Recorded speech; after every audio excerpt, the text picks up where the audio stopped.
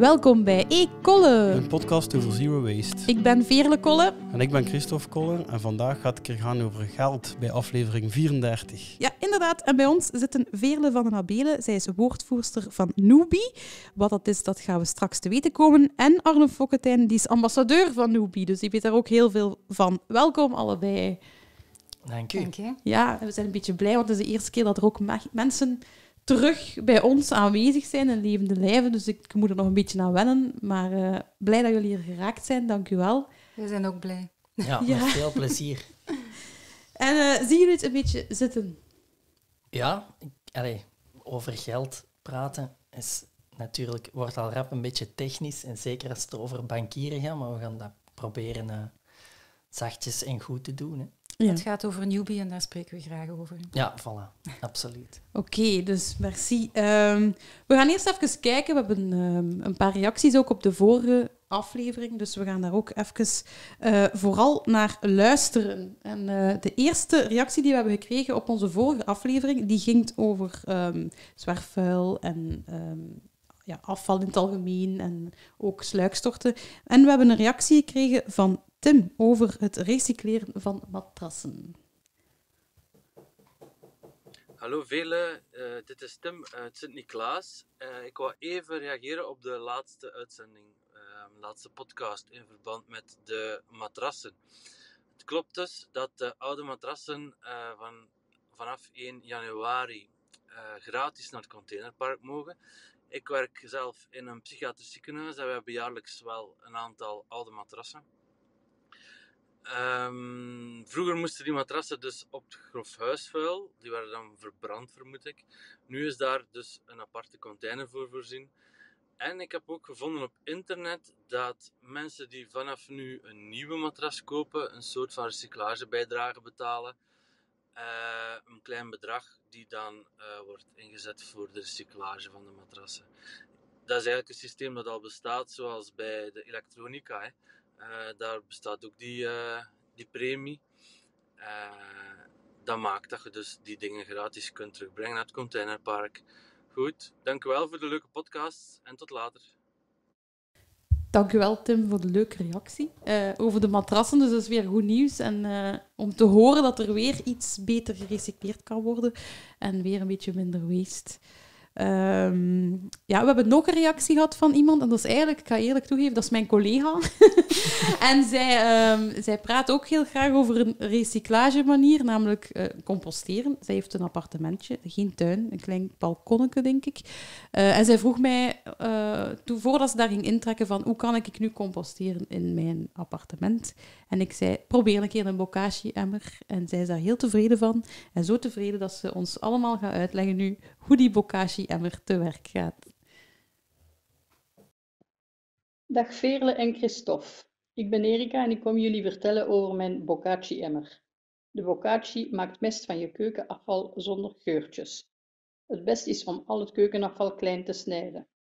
Bij de starterset krijg je een zak met een mengsel van effectieve micro-organismen dat ervoor zorgt dat het afval fermenteert. Je kan zo op een compacte en reukloze manier je keukenafval tot compost verwerken. Als de emmer vol is, moet je hem nog 10 dagen laten staan, waarna je de inhoud als mest in de tuin kan verwerken. Tussentijds kun je sap aftappen om voldoende aan je planten te geven. Het composteerproces verloopt zonder geurtjes. Het sap dat we aftappen ruikt fris zuur. Ook in de bokashi-emmer zelf ruikt het keukenafval zuurig zoals ook de bedoeling is. Dit betekent dat het fermenteerproces namelijk gelukt is. De starterset kan je kopen bij onder andere Ecologisch, EM Winkel of Eco Mondo. Dat is keigoed. Kennen jullie dat? Of... Ja, ik heb er zo eentje thuis. En? Ja, tof. Ja. Maar dat sap ruikt wat mij betreft niet zo lekker, maar smaken verschillen. Maar, ah, ja, ja, wel zuur. eh. Lekker zuur. Fris, Dat zuur, fris fris, of ik Ja. Ik weet het niet. Ik heb het nog niet geroken zelf. Ik ken het puur van zien online en, en van dingen zien passeren en filmpjes, maar ik heb het eigenlijk nog nooit in levende lijven in werk gezien. eigenlijk. Klopt dat het niet stinkt, maar fris ruiken zou ik nou ook net niet zeggen. Ik ga, Maar dat het is wel, iets fantastisch zo. ik ga dat wel proberen, want we hebben op onze koer in Antwerpen zo'n eh, wormenbak, maar dat Ja, stinkt eigenlijk wel. eh, Stinkt u? ja. Wel, ik vind dat dat weer dat fris zuur ik, een wormenbak. Want ik heb een je? wormenbak op mijn dak. En Soms iets hetzelfde zijn, ongeveer. ja, ik denk, want je moet wel heel goed opletten wat je daarin doet. Maar een keer dat dat echt op dreef is... Want in het begin heb ik ook wel zitten sukkelen en dan gingen mijn wormen dood, waren ze niet eens allemaal weg. Maar na verloop van tijd en nog een keer nieuwe wormen erin te steken, is dat nu echt goed op gang. En ik vind... Ja, het is niet dat ik er mijn kop ga insteken, maar je riekt niet... Als hij dicht is, riekt er niks. Nee, nee, dat is waar. Als het dicht is, niet meer. Ja. Als je hem open doet, is dat toch wel... Een compostgeur, ja, zo wat aarde, vind ik. Ah, Licht nee, zuur. nee, ja. Het is wel echt...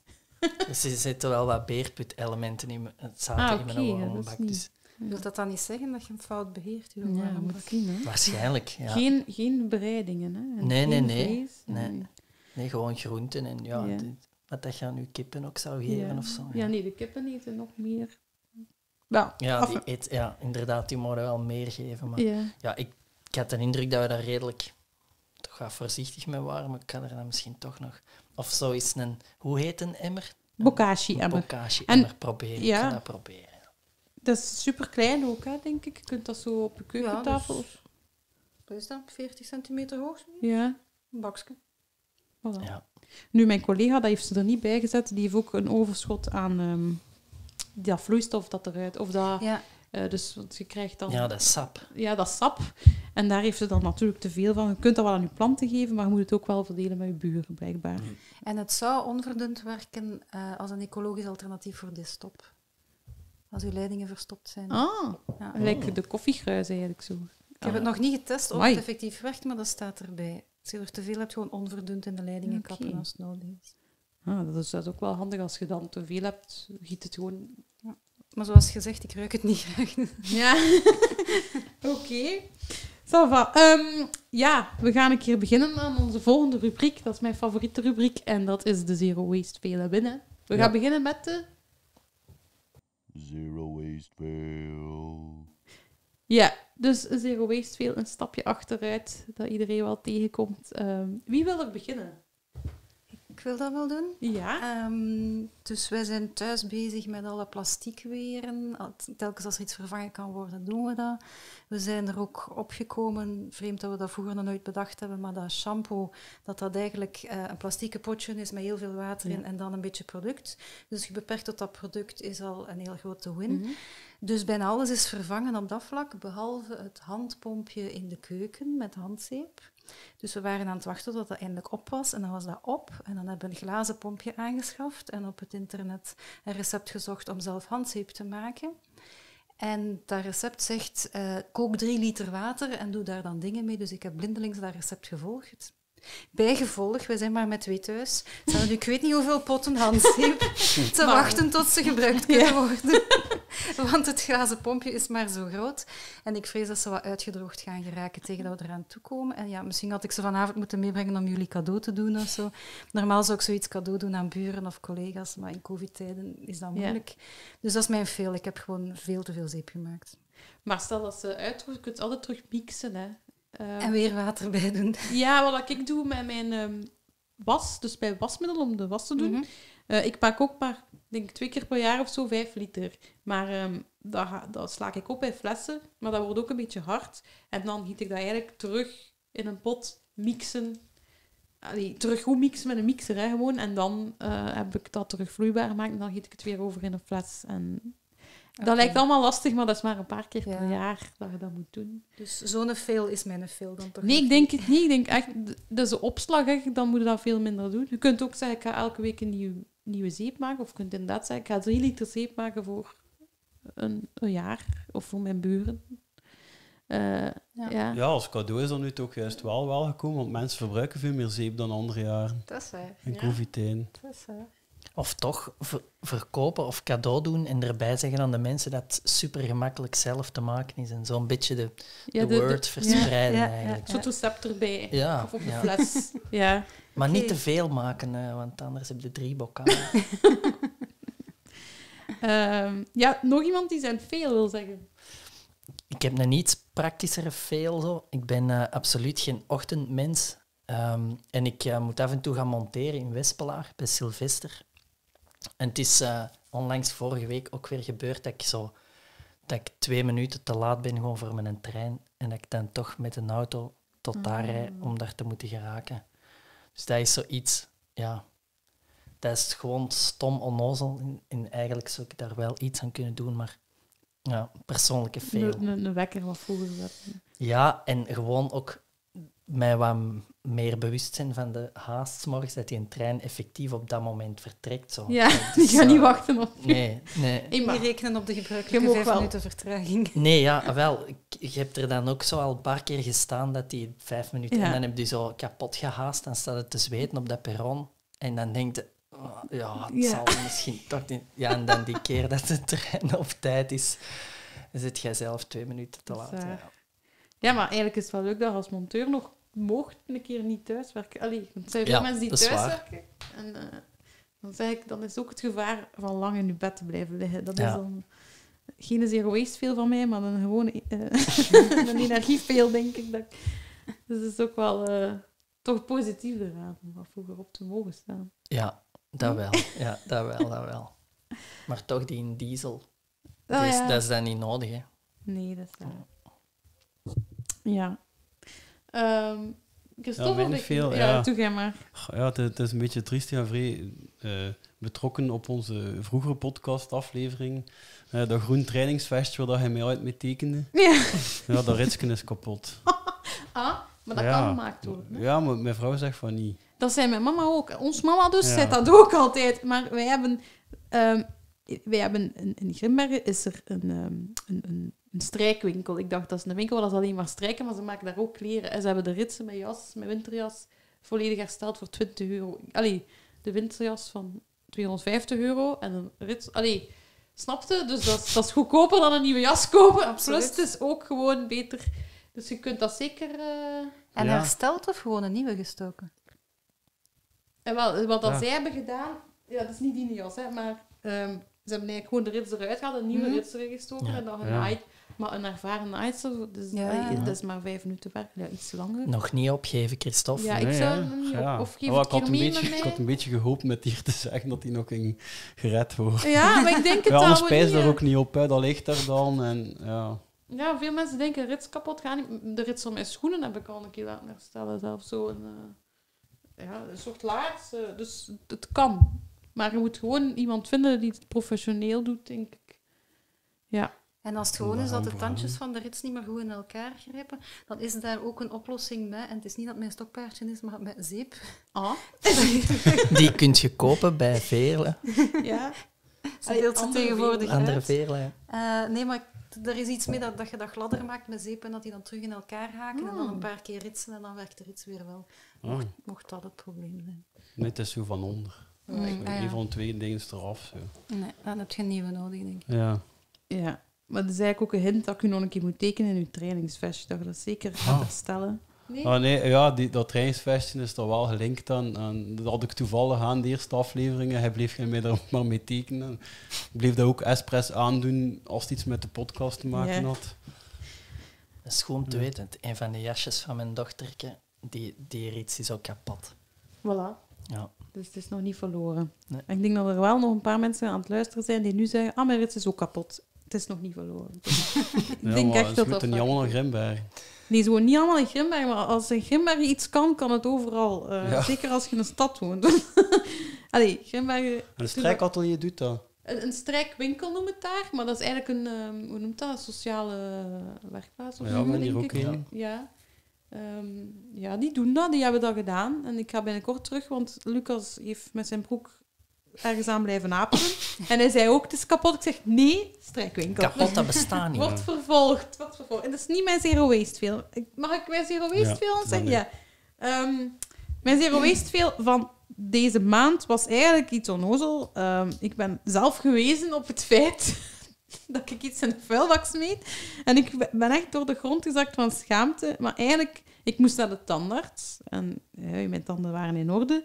Maar bij de tandarts zijn we verplicht om een wegwerpmasker te dragen. Mhm. En ik, ik, ja, als een dokter of wat dan ook dat zegt tegen mij, dan doe ik dat. Ik volg de regels, want ik wil liever dat mijn tanden in orde zijn.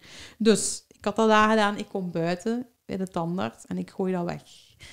En op dat moment zegt er iemand die zo'n herbruikbaar masker draagt, maar die duidelijk al heel, heel vaak herbruikt was, want het was niet zo hygiënisch meer, maar wat. Die zei tegen mij, weet je dat je ook herbruikbare mondmaskers hebt? dus ik voelde me echt zo... Ja, ik weet dat. allee, maar die, het is niet dat die mij kenden of zo, maar eerst vrezen dat ze van, oh nee. Ik word gepakt op mijn Ja, missie eigenlijk. Ja, maar ja, ik, ik had het gewoon gedaan wat op dat moment mij gevraagd was. En, dan- dan bleef hij zo herhalen van, je kunt dat wassen. En hij begon over zijn masker en hij begon over alle manieren waarop dat je dat waste. En, en hoe vaak dat ik hij- weet dat wel. Ja, ik zei gewoon, ja, ik weet het, ik ga dat zeker doen. Maar ja, ik mocht... Ja, die tandarts... Allee, ik kwam echt buiten en er al een vuilbak naast die deur. Dus ja, dat was een beetje mijn veel... Ja, is het te veel? Ik weet het niet, maar ik voelde niet, hè. mij zeer geveeld. Ja, eigenlijk niet. Maar Ja. nee, want je, je, je Ja. mocht eigenlijk Nee. niet anders. Nee. Maar op een ander vlak is het niet goed om die maskers weg te gooien. Eh, je zou minstens die elastiekjes achter de oren moeten doorknippen of bijhouden voor een wasbaar masker. En waarom doorknippen? Er is, ik denk, een Duitser die foto's maakt van dieren Ja, die versukkelen in een of ander menselijk product. Ja, maar- Dat is als het in natuur belandt, hè.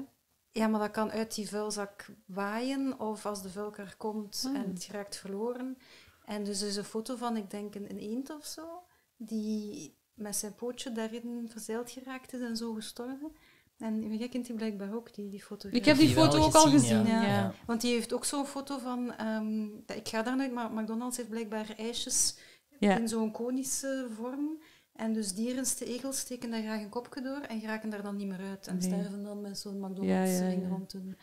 En eh allemaal dingen waar ik dus niet bij stil stond, maar blijkbaar wegwerpmaskers.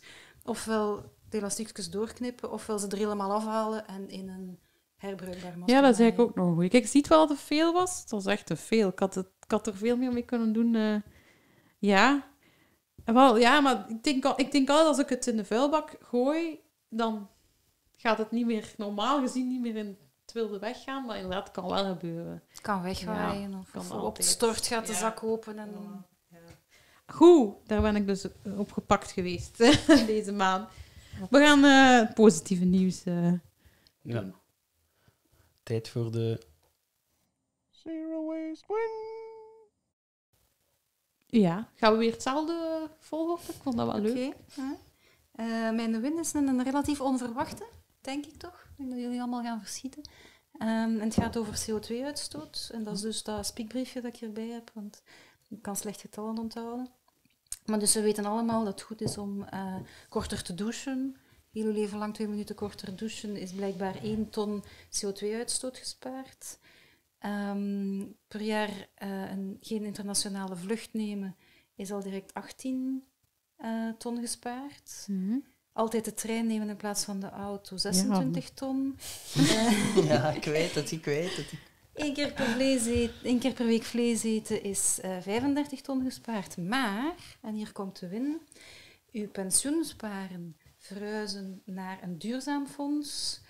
2000, en nu valt mijn scherm uit, 2222 ton CO2-uitstoot bespaard. Wauw. Voilà, ik wist het ook niet. Maar dus het nut van een duurzaam pensioensparenfonds. Daar heb je het met Bert Gabriels al over gehad. Hè? Ja, Ja. ja.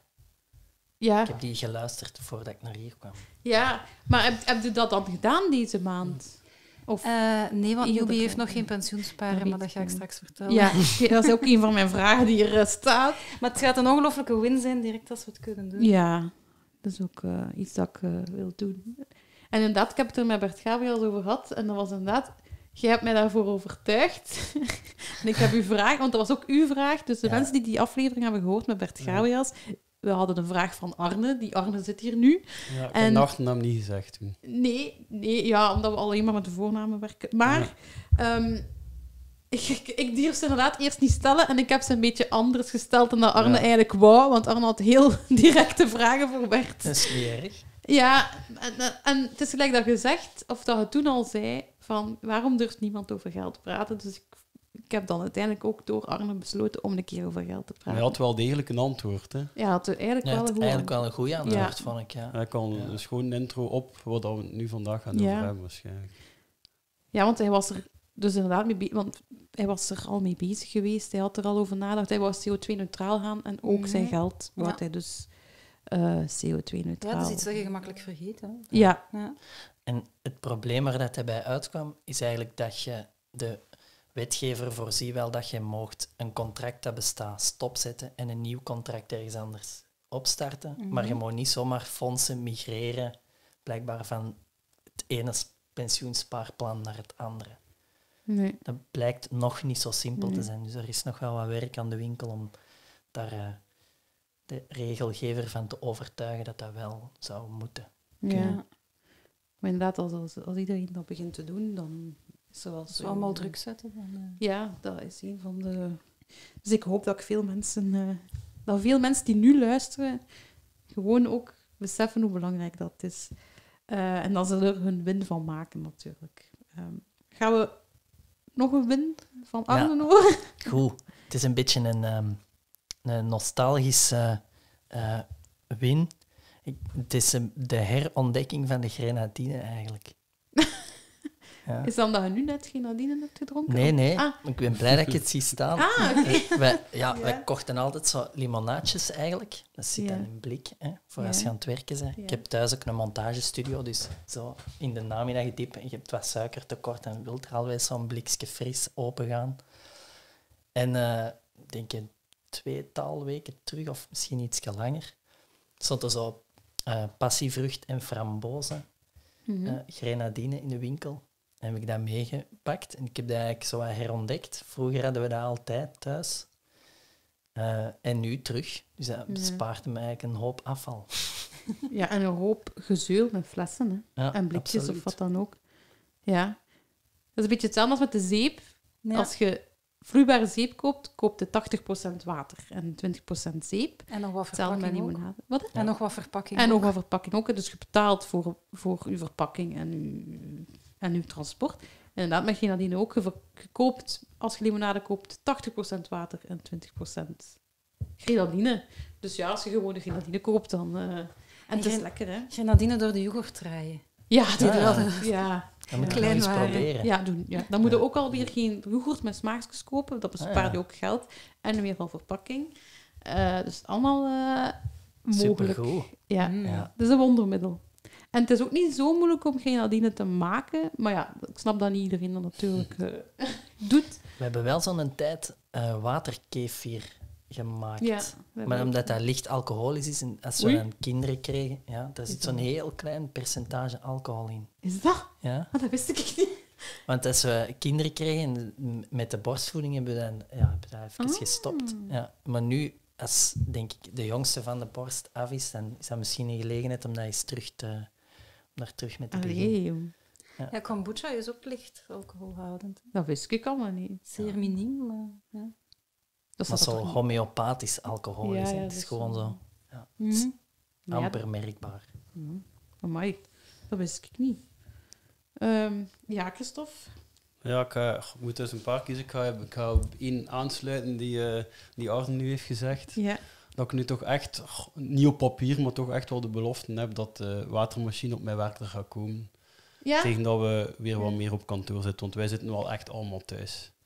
Die, ja, het is toch het is al een jaar en een half geleden dat ik het heb gezegd dat ik dat voor het eerst achter gevraagd heb, maar dat is nu, eh, ja, die gaat er nu echt wel komen. Oh, cool. Ja, ik ben ook aan het wachten op mijn werk. Op Vanuit de. Patrick. eh, van, Ah, misschien ga ik bij, bij de, ik wil mijn win veranderen. Van die maar over, ook over mijn werk. De Sipwell is weg. Dat is al een begin. Ik weet niet of je Sipwell kent. Ja, dat zijn die tanks. Ja, die tanks die dus ook gewoon heel veel voor transport voor water. Eigenlijk is dat gewoon watertransporten met een Ja. camion. En dan heb je zo plastic bekers op je werk. Maar die is al weg. Dus dat wil zeggen dat binnenkort bij ons ook dan eh, zoiets gaat komen. Zo'n, uh, hoe noemt het? Een watertap. Maar ik weet Ja, nog niet wat. Water eigenlijk, maar dan... En wel verfrissing, dus Ja. eigenlijk een, een soort machine die water fris houdt uit de kraan. En waar dat je kunt kiezen voor bruiswater of Mm. plat water. Maar het Ja. wordt fris gehouden, gefilterd nog een keer. Ehm, en dan bij wij het drinken. Ah ja, voor de mensen die dat dat dan dus willen ehm, ook doen op hun werk, ik heb één kleine tip. Eh, sowieso, als je dat bij je thuis wilt doen, komen ze controleren. Eh, voor de mensen die in een ouder gebouw werken of wonen, hè, ze komen dat controleren op, op giftige stoffen van lood of zo nog in de binnenleiding waar dat niet bij kunt. Want tot aan u, tot, van aan de straatkant tot aan uw huiskant, maar het kan hard zijn dat in een gebouw woont of zo, waar dat, waar dat echt niet... En, in ons geval was dat zo. Ehm TMVW noemt, of nee, Faris, eh, komt dat controleren. Die doet dat gratis sowieso voor, voor de eh, particulieren. Voor bedrijven doen ze dat niet gratis, maar zelf daar kun je dat gratis krijgen. Je moet gewoon een beetje wachten, want die controleurs moeten steekproefgewijs rondkomen en je kunt je daar gewoon op een lijst zetten voor die steekproeven. Dus dan komen ze, het moment dat ze in ons geval in de buurt van ons bedrijf ergens moesten zijn en een steekproef nemen, hebben ze dan gewoon ons genomen. En dan, ja, dat was drie weken wachten. In mijn geval, dus niet zo lang. Hè. Amai, snel. weet al anderhalf jaar Weet dat ik al een anderhalf jaar aan het, aan het Ja. lobbyen ben daarvoor? Ja, het is al lang niet. Ja, misschien we- waren dat gemonteerd of eh, bij Doobie. eh maar Ja. Bij Sylvester staat Sylvester, er zo'n machine, denk Ah, ik. er is al liggen. Ja. Of staat er zo toch iets dat met, een, met zo'n ampul werkt? Zo'n een soort soda-stream, zo, Ja. denk ik. Ehm, ja, en daar staan eigenlijk geen plastic bekers. Het zijn allemaal glazen en dan Ja. wordt in het machine gezet. En, dus dat is Ja, al wij- redelijk goed. Dus daarmee ook dat, dat, dat ik daar even verander van... Allee, ik had eigenlijk een andere wind, maar die was maar... Die was een beetje Hm. onnozel. Maar omdat op mijn werk stonden er ook glazen. En er waren nog eens plastieke bekers. Dus het was eigenlijk een beetje hypocriet, snapte? En Ja. de meeste mensen... We zijn nu niet meer zoveel, maar de meeste mensen pakten de wegwerpbekers. En dan zeker met corona. Ehm, Ja. omdat dat daar dichtst bij stond. Dat hangt aan die machine. Terwijl dat ernaast... Allee, ook Gewoon dat ding leeghalen. Zo. Ja, Die bekers dat heb ik, ik heb dat meerdere keer stiekem gedaan. Maar dan werd ik daar ook... Ja, allee, ja, dat is niet de bedoeling blijkbaar. Maar nu is dat... ehm, ik denk, allee, ik heb ze niet zien staan de laatste keer dat ik er was. Ik wou daar niet meer dagelijks naartoe gaan. En ik dacht in mezelf... Cool. maar ja, ik weet dat er ook zoiets gaat komen. Maar wanneer, eh, dat weet ik nog niet. We hebben trouwens nog een win binnengekregen van de luisteraar eh, die dat heeft ingesproken. Dus ik dacht, we gaan daar ook eens naar luisteren. Een- Het win van iemand. Dat is van Ilse. Van Ilse, ja. Ja.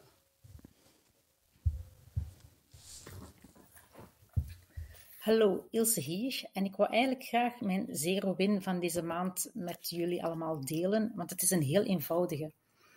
Vroeger, als ik op hotel ging, nam ik altijd die kleine tubetjes mee naar huis met shampoo en conditioner en douchegel. Maar eigenlijk gebruikte ik die tubetjes niet. Ik nam ze mee naar huis en stopte ze allemaal samen voor het geval dat ik ze eens kon gebruiken. Maar op een gegeven moment nam ik dan de stap om niks meer mee naar huis te nemen en zelf mijn zeeblokken eh, mee te nemen als ik wegging. En die tubetjes zijn altijd in een kast blijven staan. Deze maand ben ik eigenlijk gewoon alles beginnen opgebruiken. Ze vol weggooien heeft geen zin, dus daarom dat ik eigenlijk nu alles eerst opgebruik in huis. Een echte win, want ik krijg zo meer plaats in mijn kasten en ik moet nog niks nieuws maken of aanschaffen. Dus een heel eenvoudig om mee te starten als je niet weet waar je moet beginnen. Voilà. Het is een, eh, leuk dat, dat, dat zo'n ontdekking eh, geweest is van een luisteraar van Ilse. Dank u wel, Ilse. Die pakte dat mee, maar die gebruikte dat dan eerst Nee, wel maar ik heb een dat- beetje of zo. Nee, ik heb dat ook gehad. Vroeger... Iedereen doet dat. Ik deed dat ook in mijn... Oh, gratis. eh je hebt ook hotels die er geld voor vragen, blijkbaar. Maar sommige hotels is dat gratis. En dan pakte dat mee. En ergens denkt je, ja, voor de volgende keer dat ik op hotel ga en licht moet reizen, maar ja, Ja. die liggen daar dan weer. Ja. Dus, Dus ik doe het ook. Ik pak één stuk zeep mee en ehm, ja, pilletjes voor tanden te poetsen. Dus Ik heb dat misschien wel eens gedaan, maar dan de tweede keer toch gedacht van ja, ik heb die vorige nog altijd niet gebruikt. Ik ga de deze nu Mm. misschien toch laten liggen. ja. als ik, u. als ik ze laat liggen, dan blijven ze hopelijk gewoon liggen voor de volgende.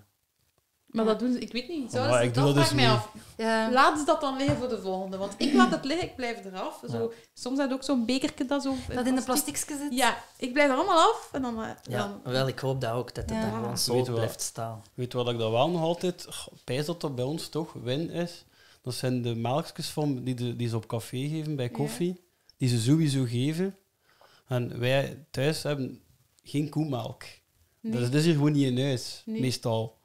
En als dan iemand een keer een koffietje drinkt en die wil daar melk bij, dan lijkt mij nog het efficiëntste dat we de Allee, Ja. Dat is zo'n tijdje geweest en dat kwam Ja. juist uit dat het aantal mensen die zo'n maasje wou drinken, plus het aantal maasjes dat Ah, wij dus meenamen neemt naar die huis. wel mee op café om voor als er iemand per se koemelk hier... Wat dat eentje dan ons geven.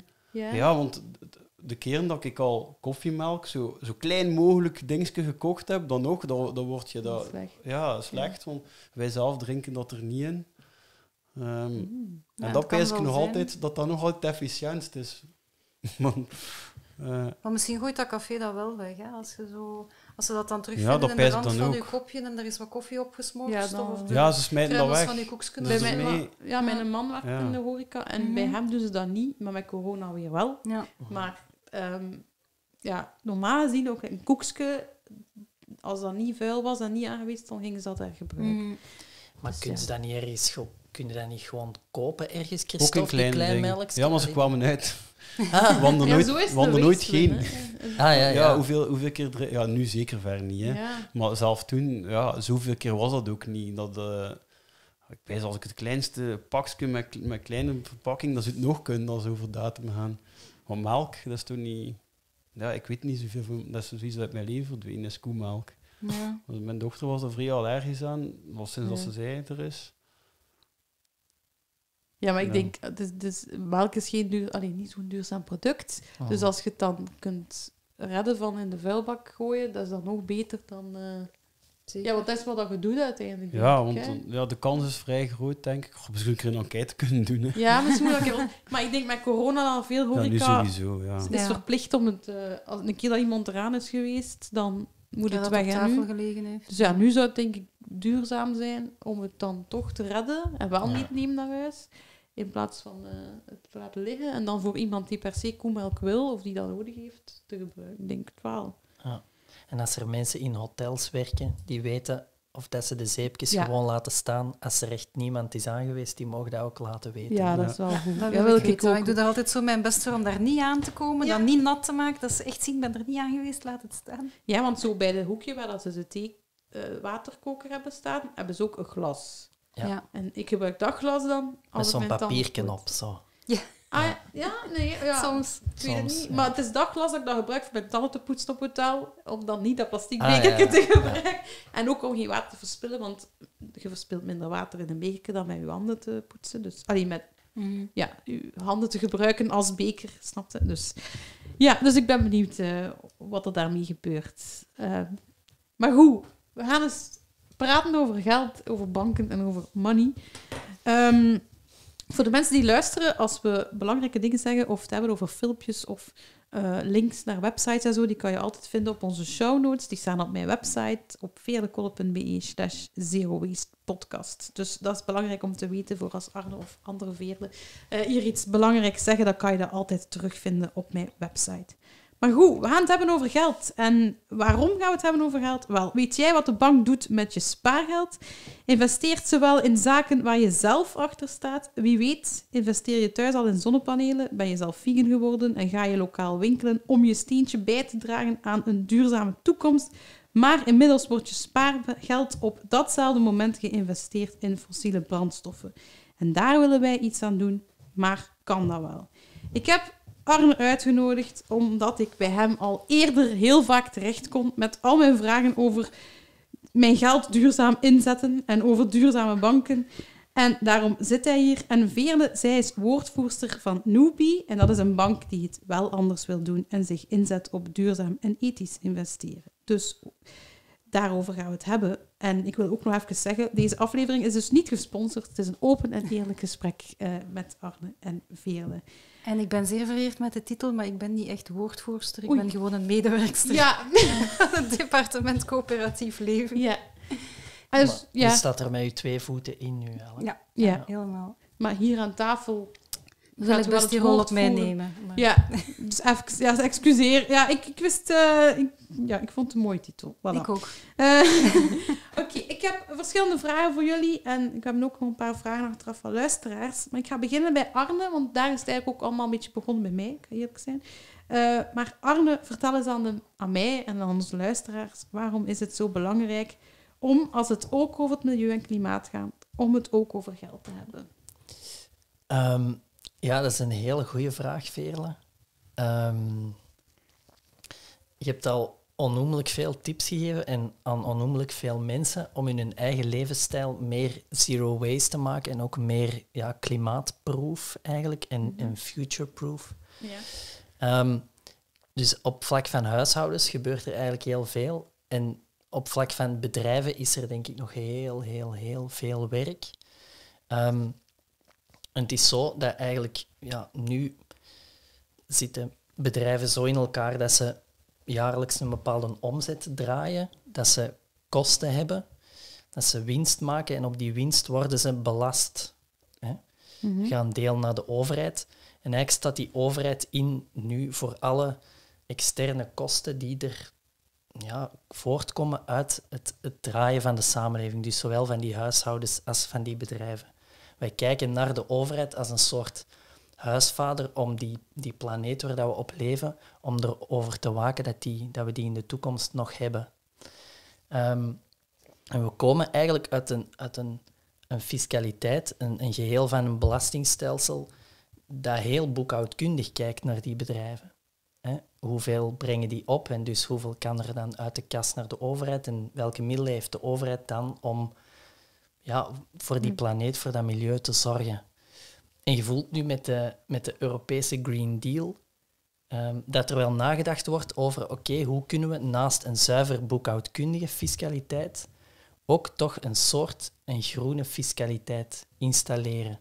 Dus waarom zouden wij eh, als overheden al die kosten dragen die de bedrijven zelf niet dragen, als we die eigenlijk ook kunnen fiscaal stimuleren om zelf een aantal stappen te zetten naar verduurzaming. Dus daar wordt nu eigenlijk heel, heel hard over nagedacht. eh, welke impulsen er zo zinvol zijn, zodanig dat automatisch de meest klimaatbelastende producten duurder worden in de winkel en dat de, de minst klimaatbelastende producten dat die goedkoper worden, zodanig dat ook weer uw consument in de juiste richting beweegt. Een beetje het principe van de vervuiler betaalt. En dat, dat, Ja, oh, dat is al een oud principe. Ehm, en dan kom je eigenlijk terecht bij, eh, bij, bij de filosofie achter bedrijven die, die hun businessmodel hebben. En dat businessmodel werkt, dat draait in, met de huidige fiscaliteit, met de huidige regelgeving. En die bedrijven zijn vaak gefinancierd voor een deel met eigen vermogen, het oprichterskapitaal en de gecumuleerde winsten uit het verleden, en het vreemd vermogen. Dat vreemd vermogen is vaak geleend bij een bank. Ja. En op het moment dat die bedrijven die, lening, eh, die leningen zijn aangegaan, heeft de bank eigenlijk gekeken, oké, hoe zit dat businessmodel in elkaar? Wat zijn de risico's voor ons als we die lening geven? En gaat dat ook iets opbrengen voor ons? Met andere woorden, als je een soort groene fiscaliteit pusht op al die bedrijven, ja, dan verandert je al die businessmodellen van die bedrijven. En dan moeten die anders beginnen rekenen. Maar dan maakt je ook dat de waarborgen die die bedrijven hebben gegeven aan de banken om al die leningen te krijgen, dan zet je die waarborgen eigenlijk onder druk. Ja. Je duwt eigenlijk tegen een soort ingebouwd conservatief model dat in elke bank zit, omdat die op basis van bepaalde waardes en bepaalde eh, redeneringen uit het verleden wel kredieten heeft gegeven. Mhm. En tegenover die kredieten die gegeven werden aan die bedrijven, staat eigenlijk al ons spaargeld. Ja. Dus als jij kiest om je spaargeld te investeren bij een bepaalde bank, dan verklaart je je eigenlijk automatisch akkoord met die investeringspolitiek van die bank en ook met de redenering die die bank maakt als ze de risico's in kaart brengt waar die bedrijven eigenlijk eh, aan onrevig zijn als ze komen aankloppen voor geld. En dus is het heel belangrijk dat je, ja, dat je op zijn minst ehm, beseft dat, dat er een verschil is tussen de, de future-proofheid, de, de mate waarin een bank klaar is voor de toekomst, of de mate waarin dat ze toch blijft vasthangen aan eh, ja, waarborgen uit het verleden. Hè. Zo bijvoorbeeld waarborgen uit het verleden die heel klassiek zijn, dat zijn voorraden van eh, olie- en gasbedrijven die eigenlijk nog in de grond zitten, waar dat we heel graag de politieke beslissing over zouden nemen van die, die moeten in de grond blijven. Maar dat betekent ook dat de waarde van die, die olie en dat gas, die nu misschien miljarden zijn, dat die dan morgen 0 euro zijn. En dat heeft dan zijn, zijn effect in uh, de verliezen die door bedrijven en door banken genomen moeten worden. Dus er is daar een soort. Ja, er, er, door hoe banken en bedrijven in elkaar zitten, maken ze die politieke beslissing heel moeilijk. En die politieke beslissing is zogezegd een beslissing die wij met een democratische meerderheid kunnen nemen. Maar door hoe banken en bedrijven werken, valt die de facto heel moeilijk te nemen. Dat is daardoor. En daardoor is het van belang dat je als spaarder je bewust bent van dat mechanisme, omdat je eigenlijk door geld weg te halen bij een, een conservatievere bank, maar conservatief is eigenlijk een heel slecht woord, want wat is er nu conservatiever dan te proberen je planeet te behouden? Mhm. eigenlijk? Er, er is Mhm. niks conservatiever dan dat eigenlijk. Ja. Maar door je, je geld te bewegen naar, naar een bank die meer in die redenering meegaat, ehm, dan maakt je het ook je, je politiek en ook je bedrijfsleven die echt wel verandering willen, die maakt je het mee gemakkelijker. En je vergroot het volume aan geld en aan energie dat in beweging is om die planeet wel te behouden. En je trekt je geld weg uit een, een meer ja, puur boekhoudkundig, ja, een, risicomodel uit het verleden eigenlijk, waar dat we van tegen de limieten botsen. Dat is eh, een lang antwoord op uw vraag, maar ik, ja, ik, hoop dat dat toch ergens... eh, Ik denk dat dat een goed duidelijk antwoord is. Maar ja, dan, dan vraag ik me natuurlijk af, als, als, als pure consument, je zegt, ja, haal je geld weg bij banken die nog zo ouderwets of conservatief, dat niet zo conservatief is, denken. Maar de banken, naar ik weet, zijn daar niet echt transparant in. Dus hoe kun je dan zien welke banken haal ik mijn geld weg en welke zet ik het erop? Allee, Wel, ehm, dat is inderdaad niet gemakkelijk. Er is gelukkig een Belgische NGO met een internationaal netwerk die daar eh, al veel onderzoek naar doet en dat Mhm. ook jaarlijks doet. Dat is Fairfin. daar Eh, heeft eh, Bert Gabriels het ook over Ja, gehad. voilà. Ze hebben een Waalse tegenhanger, Réseau Financité, die, Zit in ehm, hetzelfde gebouw als ja, Newbie. die in het Ja. gebouw van Newbie zitten. En die zelfs de voorzitter delen van de Raad van Bestuur. Dat is Bernard Bayot, dus die weet heel goed hoe, eh, ja, hoe die banken in elkaar zitten. Ehm, die hebben eigenlijk een internationale samenwerking. ehm, dat vertaalt zich in eh, een website bankwijzer.be. Mhm. En daarop kun je eigenlijk zelf een scan maken van de bank waar je bij zit. Ja. En je kunt lezen hoe dat uw bank scoort op vlak van mensenrecht, op vlak van klimaat, op vlak van eh, gendergelijkheid, arbeidsvoorwaarden enzovoort. Ehm, dus ja, daar kun je heel wat informatie vinden. Ehm, en ik denk dat dat een, eigenlijk een hele goede eerste stap is om daar eens te gaan kijken. Ja. Ja, Ja, want daar al een vraag ja over, wel, ik was net daarna ik ga die misschien Ja. toch direct stellen. Iemand had daar al een vraag over gesteld. Eh, Gwendoline. Ja, Gwendoline. Wilde jij ze voorlezen? Ja, grote banken beweren dat de bankwijzer verouderd is. Is dat zo? Ja, ik heb daar zelf natuurlijk niet eh, praktisch op gewerkt. Ik ken wel de mensen die erop werken. Ja, en die vernieuwen toch jaarlijks. Ja, dat zijn ook de grootbanken dat ik denk van ja, die zijn daar misschien wel bang van of zo, van die bankwijzer. Ja, Allee, weet je, waarschijnlijk. Maar ik, ik weet nu toevallig dat er nu net dit voorjaar een nieuwe bankwijzer XL uitgekomen is. Ja. Dus dat het toch allemaal heel recent opnieuw bekeken is. En eh heel Zero Waste is het niet, maar die bestaat zelfs op papier. En dan kun je de pagina van je eigen bank opzoeken en voor je leggen om eh, te kijken of dat je daar wel mee akkoord bent of niet. Maar dus heel toevallig kan ik zeggen dat dat dit voorjaar nog allemaal geüpdate is. Dus Dus dan is dat wel up-to-date, Ja. neem ik aan. Eh, want ze vraagt ook indien ja, op welke rapporten baseer je je keuze best? Dus dan is dat die bankwijzer XL dat zegt. En die bankwijzer heeft zichzelf gebaseerd op wat de banken zelf moeten communiceren, natuurlijk. Hè. Oké. Dus zij... Want ja, hoe kan die... Die bankwijzer gaat zelf naar die banken toe of zo? Of, of wa- wat doen die mensen dan? Van... die lezen vooral rapporten. Ja. Ja, het- Ja. En die, die, ze, ze contacteren banken zelf ook. Hè. Dus ze- ze bevragen die. Ze kijken ook wel naar oké, welke, waar, waar zitten de investeringen. Dus waar dat ze die informatie vinden, analyseren ze die. Ehm, en het klopt, dat is ook vaak de, een beetje de laffe verdediging van grootbanken, is dat het dan soms toch niet helemaal eh, is in realiteit zoals dat ze het in de bankwijzer proberen samen te vatten omdat het eigenlijk, ja, zo- zo'n bankenbalans, dat is zo'n onbegonnen werk. De, de balans van, van BNP Paribas is ettelijke keren groter dan ons bruto binnenlands product. Dus je spreekt daar echt over grote orde, duizenden miljarden. Ja, vind het maar eens uit waar het allemaal in zit. Hè. Ehm, recent vonden ze dat er blijkbaar ehm, nog miljarden van, nee, miljoenen, honderden miljoenen wel, van ING in een Indonesische steenkoolcentrale zitten. Mooi. Ehm, ja, ING verdedigt zich dan wel met, met eh, ja, die, zaten daar al, die zitten daar al een paar jaar in. En dat is een lopend krediet. Nochtans hebben zij eh, Sign for My Future getekend en ook charters getekend, waarin dat ze zich ertoe verbinden van eigenlijk niet meer daarin te investeren. Ja, oké.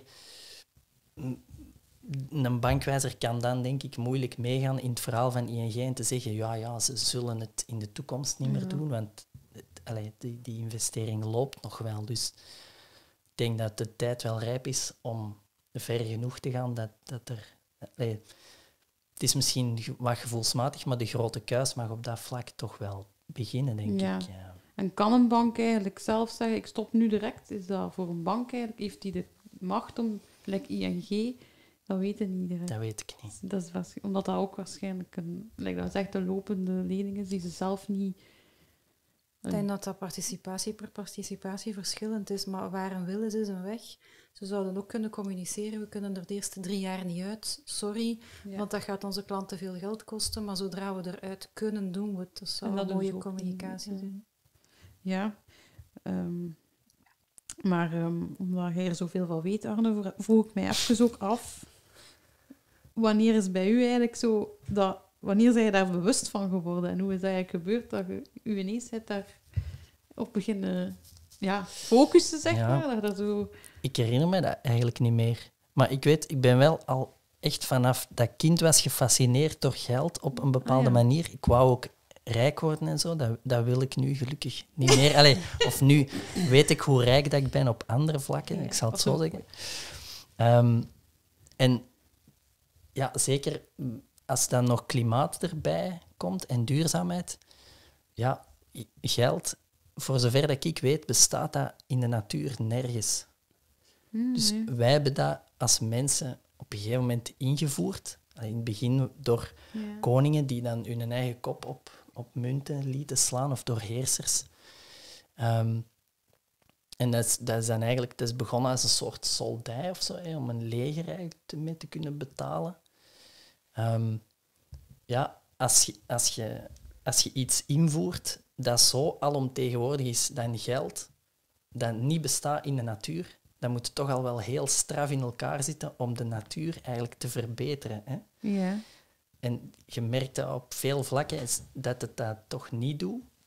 En zeker dat het ons nu eigenlijk zo'n beetje tegenwerkt. Vandaar dat mij eigenlijk wel eens blijven fascineren. Zo. Mhm. Het zit in, de, in het leven van elke mens en iedereen heeft toch wel een heel financieel luik ook aan zijn leven.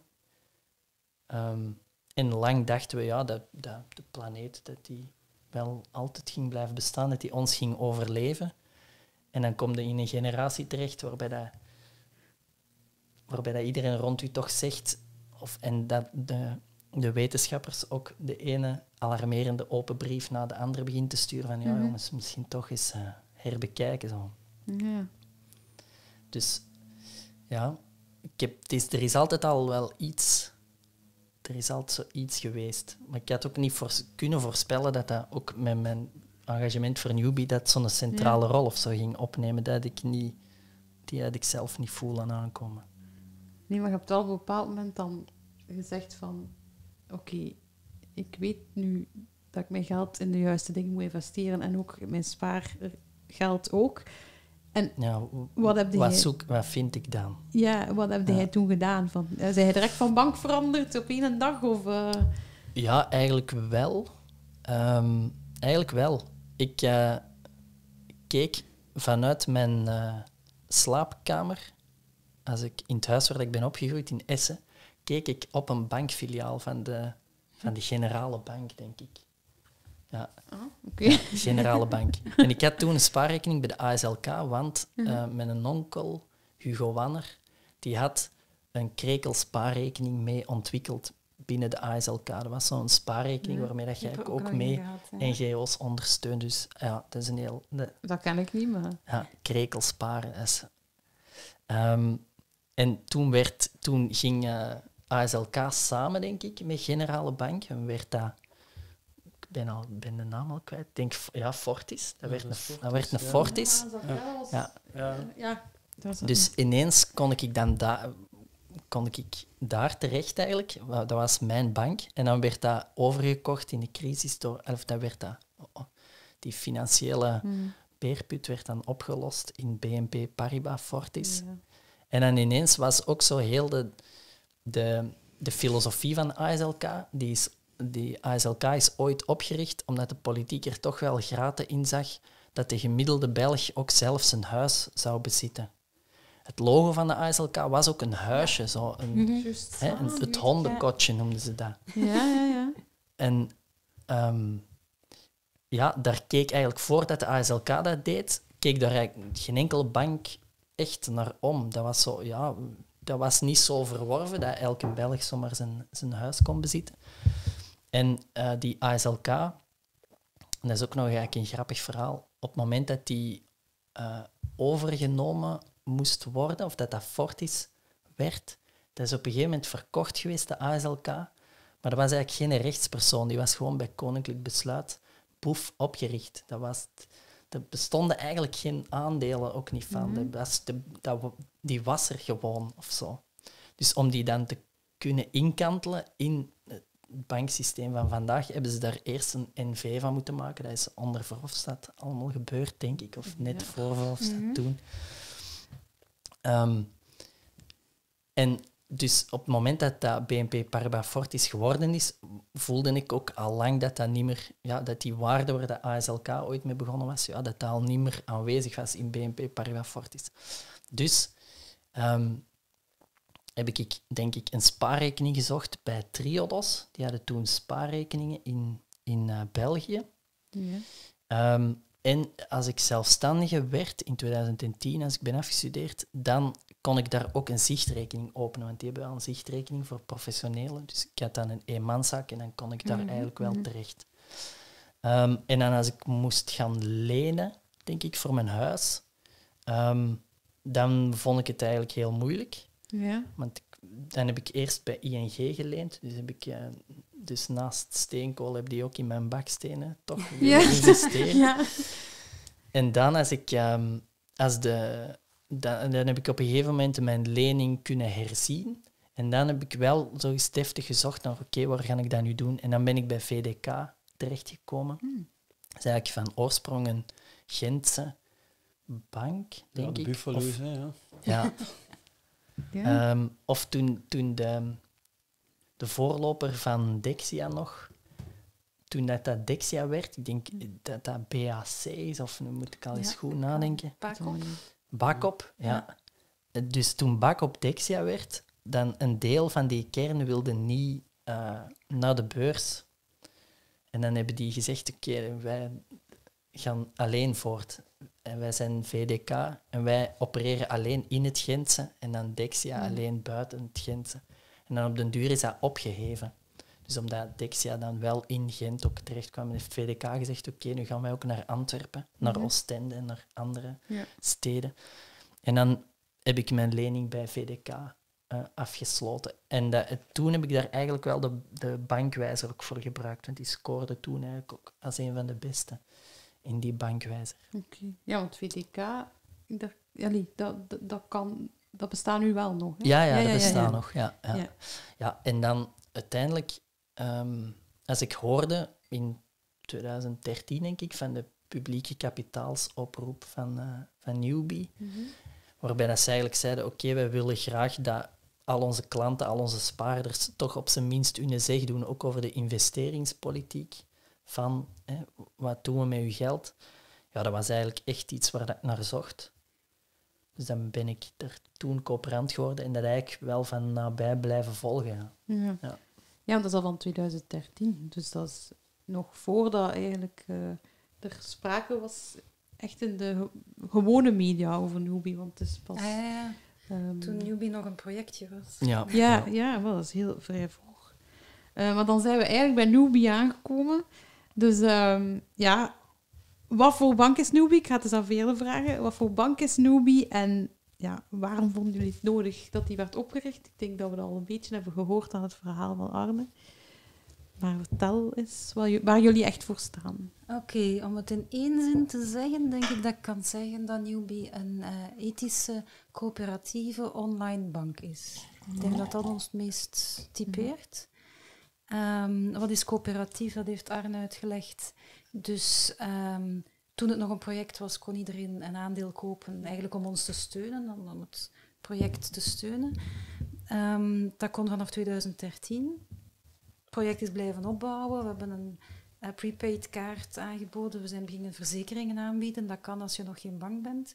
Maar dan uiteindelijk om bank te worden, moesten we eh, 35 miljoen euro bijverzamelen. Dus aandelen laten kopen door, door bestaande en nieuwe coöperanten. Ja. Dat is eind 2019 en dat is ook gelukt. Ja. Ehm, en doordat we dat hadden en ons dossier natuurlijk ook fantastisch opgesteld was, hebben we dan een banklicentie gekregen. en eh, toen was het eventjes niet meer mogelijk is om coöperant te worden, maar sinds onze nieuwe website er is sinds een maand kan je terug coöperant worden en in dezelfde beweging ook direct een rekening openen, want dat was toch uiteindelijk allemaal de bedoeling. Eh, wat kan nu een coöperant doen? Ten eerste, ze hebben ons enorm geholpen door het aankopen van één of meerdere aandelen. Mhm. En voor individuen gaat dat over een aandeel van 20 euro of twee aandelen van 20 euro. Het is een, toch een toegankelijk bedrag. Ehm, wat krijg je daarvoor terug? Inspraak. Dus de algemene vergadering Ja. waar we het over hadden voor het begon. Ja. Eh, daar kan dus iedereen komen luisteren en stemmen. Ehm, die gaat door op 12 juni. En dat wil zeggen dat we op 12 mei, een maand daarvoor, al de uitnodigingen verzonden hebben. Dus alle documenten zitten daarin. Iedereen heeft een maand tijd om het te lezen. Sommige dingen, zoals eh, de jaarrekening en zo, zijn misschien wat moeilijk te verteren voor mensen die niet gewoon zijn om daar naar te kijken. Maar daarvoor kan je vragen stellen Mm. nog de hele maand in de aanloop naar de AV. Ehm, en dan stemmen. Ja.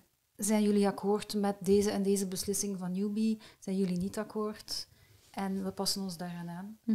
Ehm, de afdeling waar dat ik werk heet Coöperatief Leven. En we houden dus de vinger aan de pols bij de coöperanten juist.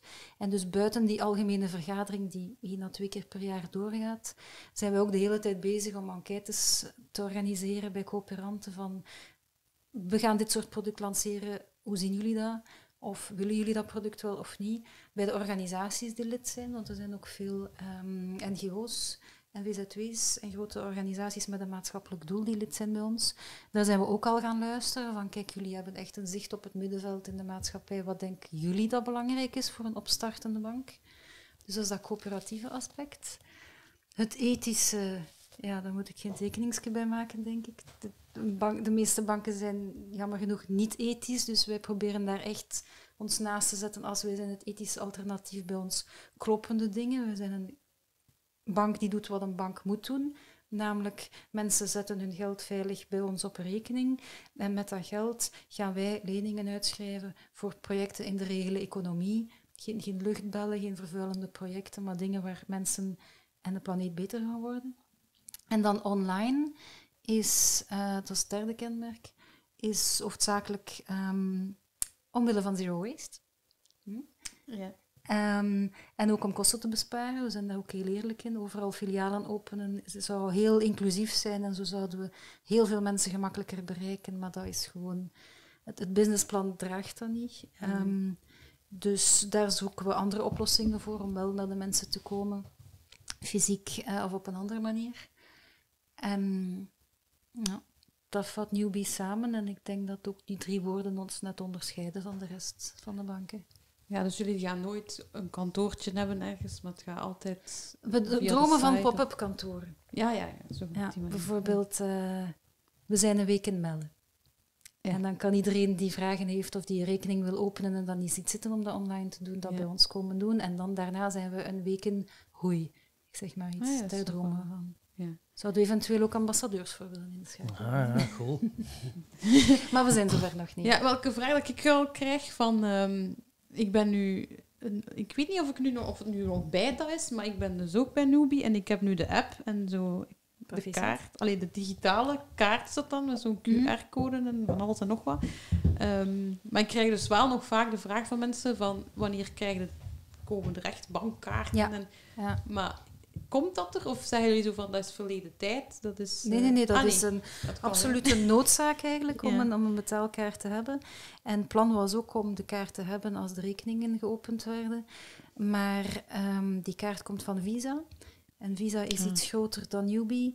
En dus Newbie moet naar Visa luisteren in plaats van omgekeerd. En eh, daarom laat de kaart op zich wachten. Omdat Ah, ze dat niet op tijd voor ons konden ontwikkelen. En dat wij ook niet nog maanden gingen wachten om de mogelijkheid open te stellen om een rekening te openen. Dus momenteel is dat wel vervelend. Je kan van je Newbie-rekening nog geen boodschappen doen in de supermarkt, want je hebt geen betaalkaart. Maar het zit eraan te komen. En die kaart, ehm, waarschijnlijk gaan veel mensen stijgen als ze Visa horen. Maar we hebben daarvoor gekozen omdat dat een kaart is die twee functionaliteiten heeft. De gewone bankcontactkaart, waarmee je boodschappen kan doen. Ehm, maar ook bepaalde functies van een creditcard, terwijl het eigenlijk een debitcard is. Dus je kan er niet mee in het rood gaan. Je kan niet per ongeluk, of je kinderen kunnen niet per ongeluk ergens een gat slaan of zo in de rekening. Dat kan niet. Maar de kaart wordt wel aanvaard, bijvoorbeeld voor het huren van een wagen of andere dingen waar eigenlijk normaal een creditcard voor gevraagd wordt. En, ook omdat, internationaal. voilà. Mm. Ja, en dus omdat we die functionaliteiten wilden, zijn we bij Visa uitgekomen. Maar omdat het Visa is, kunnen wij hen onze timing niet opleggen. En moeten we wachten op de kaart. Maar ze zit eraan te komen. We hebben ook ehm, voor de kleine anekdote onlangs een enquête gerealiseerd met vier ontwerpen van de kaart. Eh, onze kleuren zijn zo geel, blauw en wit. Ja. En dus, ehm, Ik denk dat ik gestemd Dat kon al... ja, ja, ja, er is al, ja, er is al Ja, een uitkomst. ja, Eh, en, en eigenlijk Volgende een, nieuwsbrief, hè. Super. Er is een kaart die er met mijn kop en schouders bovenuit stak. Het was helemaal niet mijn keuze. Ehm, en dan- dus onze kleuren zijn wit, blauw en geel. Ja. En dus ik was voor de totaal gele kaart, want ik vond dat dat dan enorm zou opvallen in, in de Ja, portefeuille en zo. En een beetje flashy. Maar er is gekozen voor de meer ja, standaard uitziende blauw, De blauwe, witte ja. kaart. Ja. Ja, Ja, ik snap dat eigenlijk wel. Dat, Ja. dat ook mensen zijn die daar niet te veel mee willen opvallen. Nee. Ja. Dat juist... nee, om niet alle ook. momenten discussies te gaan krijgen of Ja. het wijzende vingertje te gaan zijn. Ja, dat is ook zo een rode draad in het verhaal van Newbie. is Zo die vraag van ja, hoe anarchistisch willen we dat ons eigen Mhm. imago eigenlijk naar buiten komt. Nee, we willen er misschien ja, toch wel wat professioneler. Nee, nee, toch wel wat Ja, je ziet anarchistischer. dat, ja, het logo is eigenlijk ook al zo wat... Hoe Ja. zeg je dat? Ja, een beetje anarchistisch. Is Ja, misschien, de hamburger wordt hij genoemd hè, op kantoor. Of is de, Ah, wie, Die is drie de, streepjes. ja, wie is er nu weer mee begonnen? Dan toch minstens een vegan Ik hamburger. dacht, Ja, ik een dacht vegan wel- hamburger. Ja, ik dacht even aan Spotify, dat is ook wel eens echt geweest. Ja, ja, ja, ah, ja, ja, Ehm, dat is waar. Ja, ik heb bewust eh, nog, nog niets gedaan van die, om, om een beetje er, er blank in te gaan en zo. Eh, dus dus wat, dat je, wat dat je nu hebt, is je, je sluit je aan en je hebt een zicht en een spaarrekening, vermoed Mhm. ik. Maar je kunt er internetbankieren mee doen, dus Mhm. overschrijvingen en zo. Ja. Dat, dat kun je gewoon Ja. al direct. Die, is- dat, zijn dan de Alles wat dat online ba- banking is en Alles zo, dat je kent van een andere Je bank kunt kan. aansluiten aan dingen gelijk Payconic en zo. Nee. Nee. Dat gaat niet. Nee. Ja. Nee. Heb ik je ook al geprobeerd. Dat was eerste. als, je de, als de bankkaart er is, dan kun je dat. Hè? Ah, je hebt er Ja. een kaart voor nodig. Ja, ja. Payconic. Ja, want Payconic vraagt uw kaartnummer. Ja. En dan- Het is Ja. op dit moment wel een, een... Ik weet niet wat dat is met de mensen die nu instappen. Houden die ook nog wel de andere rekening en zijn die zo in stukjes aan het overstappen? Of? Nou, ja, ik persoonlijk, eh, ik heb een rekening geopend en ja, daar komt wat geld op en daar gaat wat geld uit. Maar eh, hoe heet dat, domicilieringen en permanente opdrachten en zo. Maar mijn boodschappen doe ik nog altijd met mijn andere rekening, omdat ik mijn bankcontactkaart gebruik. Dus Ja. praktisch gezien doe de, wat ook een beetje logisch is. eh, momenteel ga je, de meesten gaan waarschijnlijk wel beide rekeningen nog houden. Dus, Ik denk dat er weinig mensen zijn die nu al alleen newbie zijn met, met Ja. hun rekeningen. Maar er dat zijn zou mensen... ik ook niet doen eigenlijk. Je, je gaat inderdaad voor sommige betaalsituaties momenteel nog in de problemen komen voordat de kaart er is. Ja. Ja. Ja, en ook mensen die een hypothecaire lening hebben lopen bij een bank Mhm. zijn verplicht om hun loon daar te storten. Die kunnen daar ook niet weg totdat dat afbetaald is. ja, dat vraag ik me. Ah, dat ook zit, daar zit ik interessant. ook allemaal naar. Even Ah, ja, hij doet dat niet nu. Ja, zit Wij zitten zo af en toe een keer naar een huis te kijken nu. En, eh, ook niet- daar Ja. had ik dus ook nog een vraag over. Maar Want ik zit inderdaad, nu ook inderdaad in een situatie dat ik zelf nog geen jaar geleden heel moeilijke gedaan heb. Dus ik denk na een jaar vervallen er sowieso bepaalde verplichtingen. Eh, dat weten ook veel mensen niet. Want het wordt zo gelijk met je gecommuniceerd dat je voor altijd aan die bank vasthangt. Maar ehm, ik weet bijvoorbeeld de brandverzekering.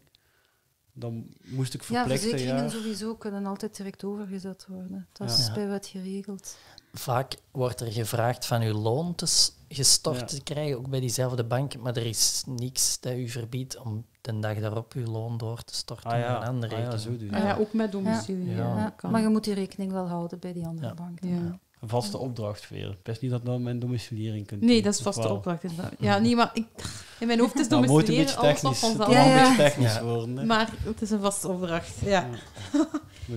Ja. Ik wil nog iets zeggen van onze kaart, Ja. want iedereen zit er dus op te wachten. Er is wel iets speciaals aan en dat is als er een kleine inkeping is aan, aan de korte kant voor mensen die moeilijk een kaart zouden terugvinden omdat ze bijvoorbeeld moeilijk zien of het is donker Mhm. in de winkel of zo, Ah. kunnen ze de kaart herkennen omdat die zo'n kleine inkeping heeft opzij. Ah, dat is kijk. hip, To- ja. toch iets Voilà. speciaals gedaan. Zo, zo Ja. hoe zeg je dat? Ehm, inclusie. inclusie. Of is, ja, iedereen denken. Ja, ja, ja. Ja. Want ik wou ook nog iets zeggen over dat blauw. Blauw is ook een kleur dat vertrouwen wekt. Mhm. Dus ik denk dat ook, ik heb ook op de blauw gestemd, denk ik, omdat ik dacht geel.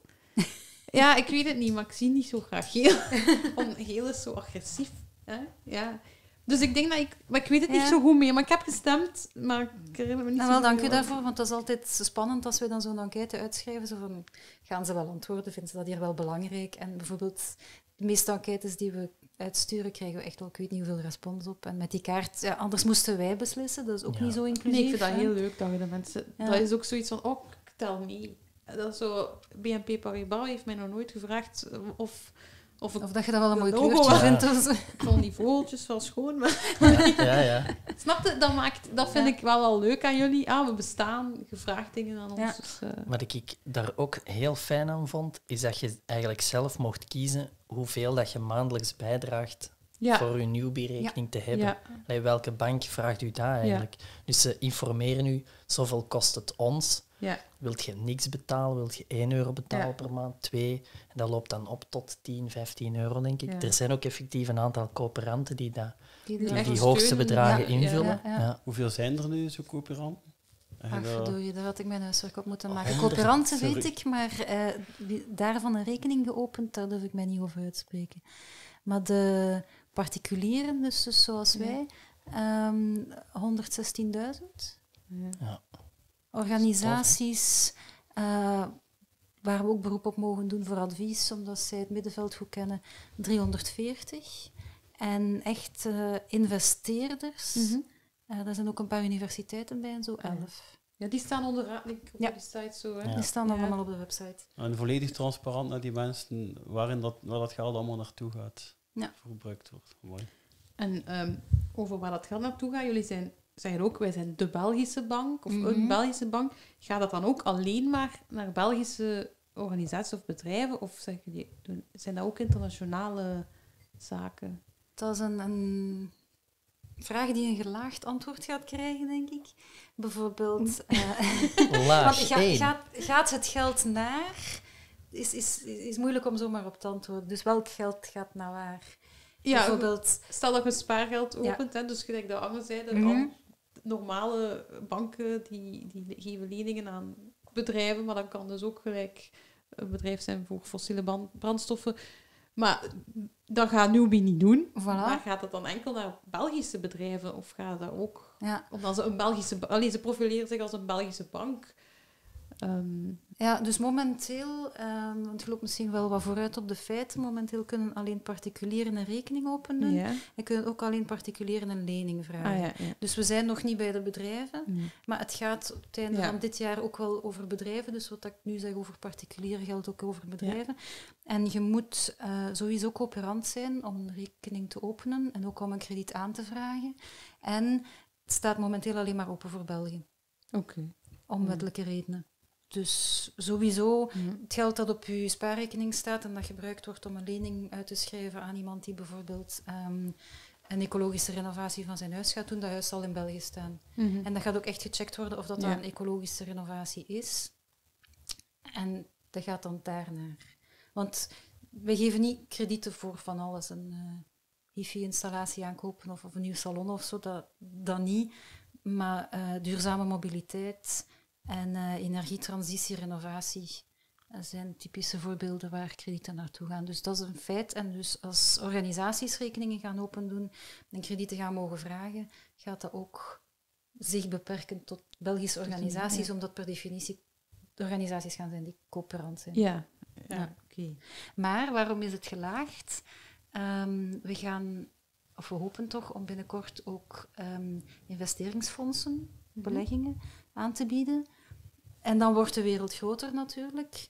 Want dan gaan, kunnen de coöperanten zeggen, ik wil, laat ons zeggen, 2000 euro investeren in een fonds Mhm. dat door Newbie samengesteld is. In samenwerking met eh, fondsenbeheerders enzovoorts. En dat zal groter zijn. Daar is het moeilijk, als we ook nog rendement willen aanbieden aan, aan de coöperanten, om dat te beperken tot België. Want België is klein. Mhm. Ehm, bedrijven die in België gevestigd zijn, zijn klein. Dus dat is eigenlijk moeilijk om, om daar echt in te gaan beleggen. Dus daar wordt heel goed gek- gekeken wat is lokaal. Is lokaal Belgisch, is lokaal Europees? Hoeveel procent mag er dan toch nog van een ander land zijn? Respecteert dat land de mensenrechten? Is de doodstraf daar nog van toepassing? Dus al, al die Ja, ja, elementen ja. komen daarin. Dus het zal zeker een ethisch fonds zijn.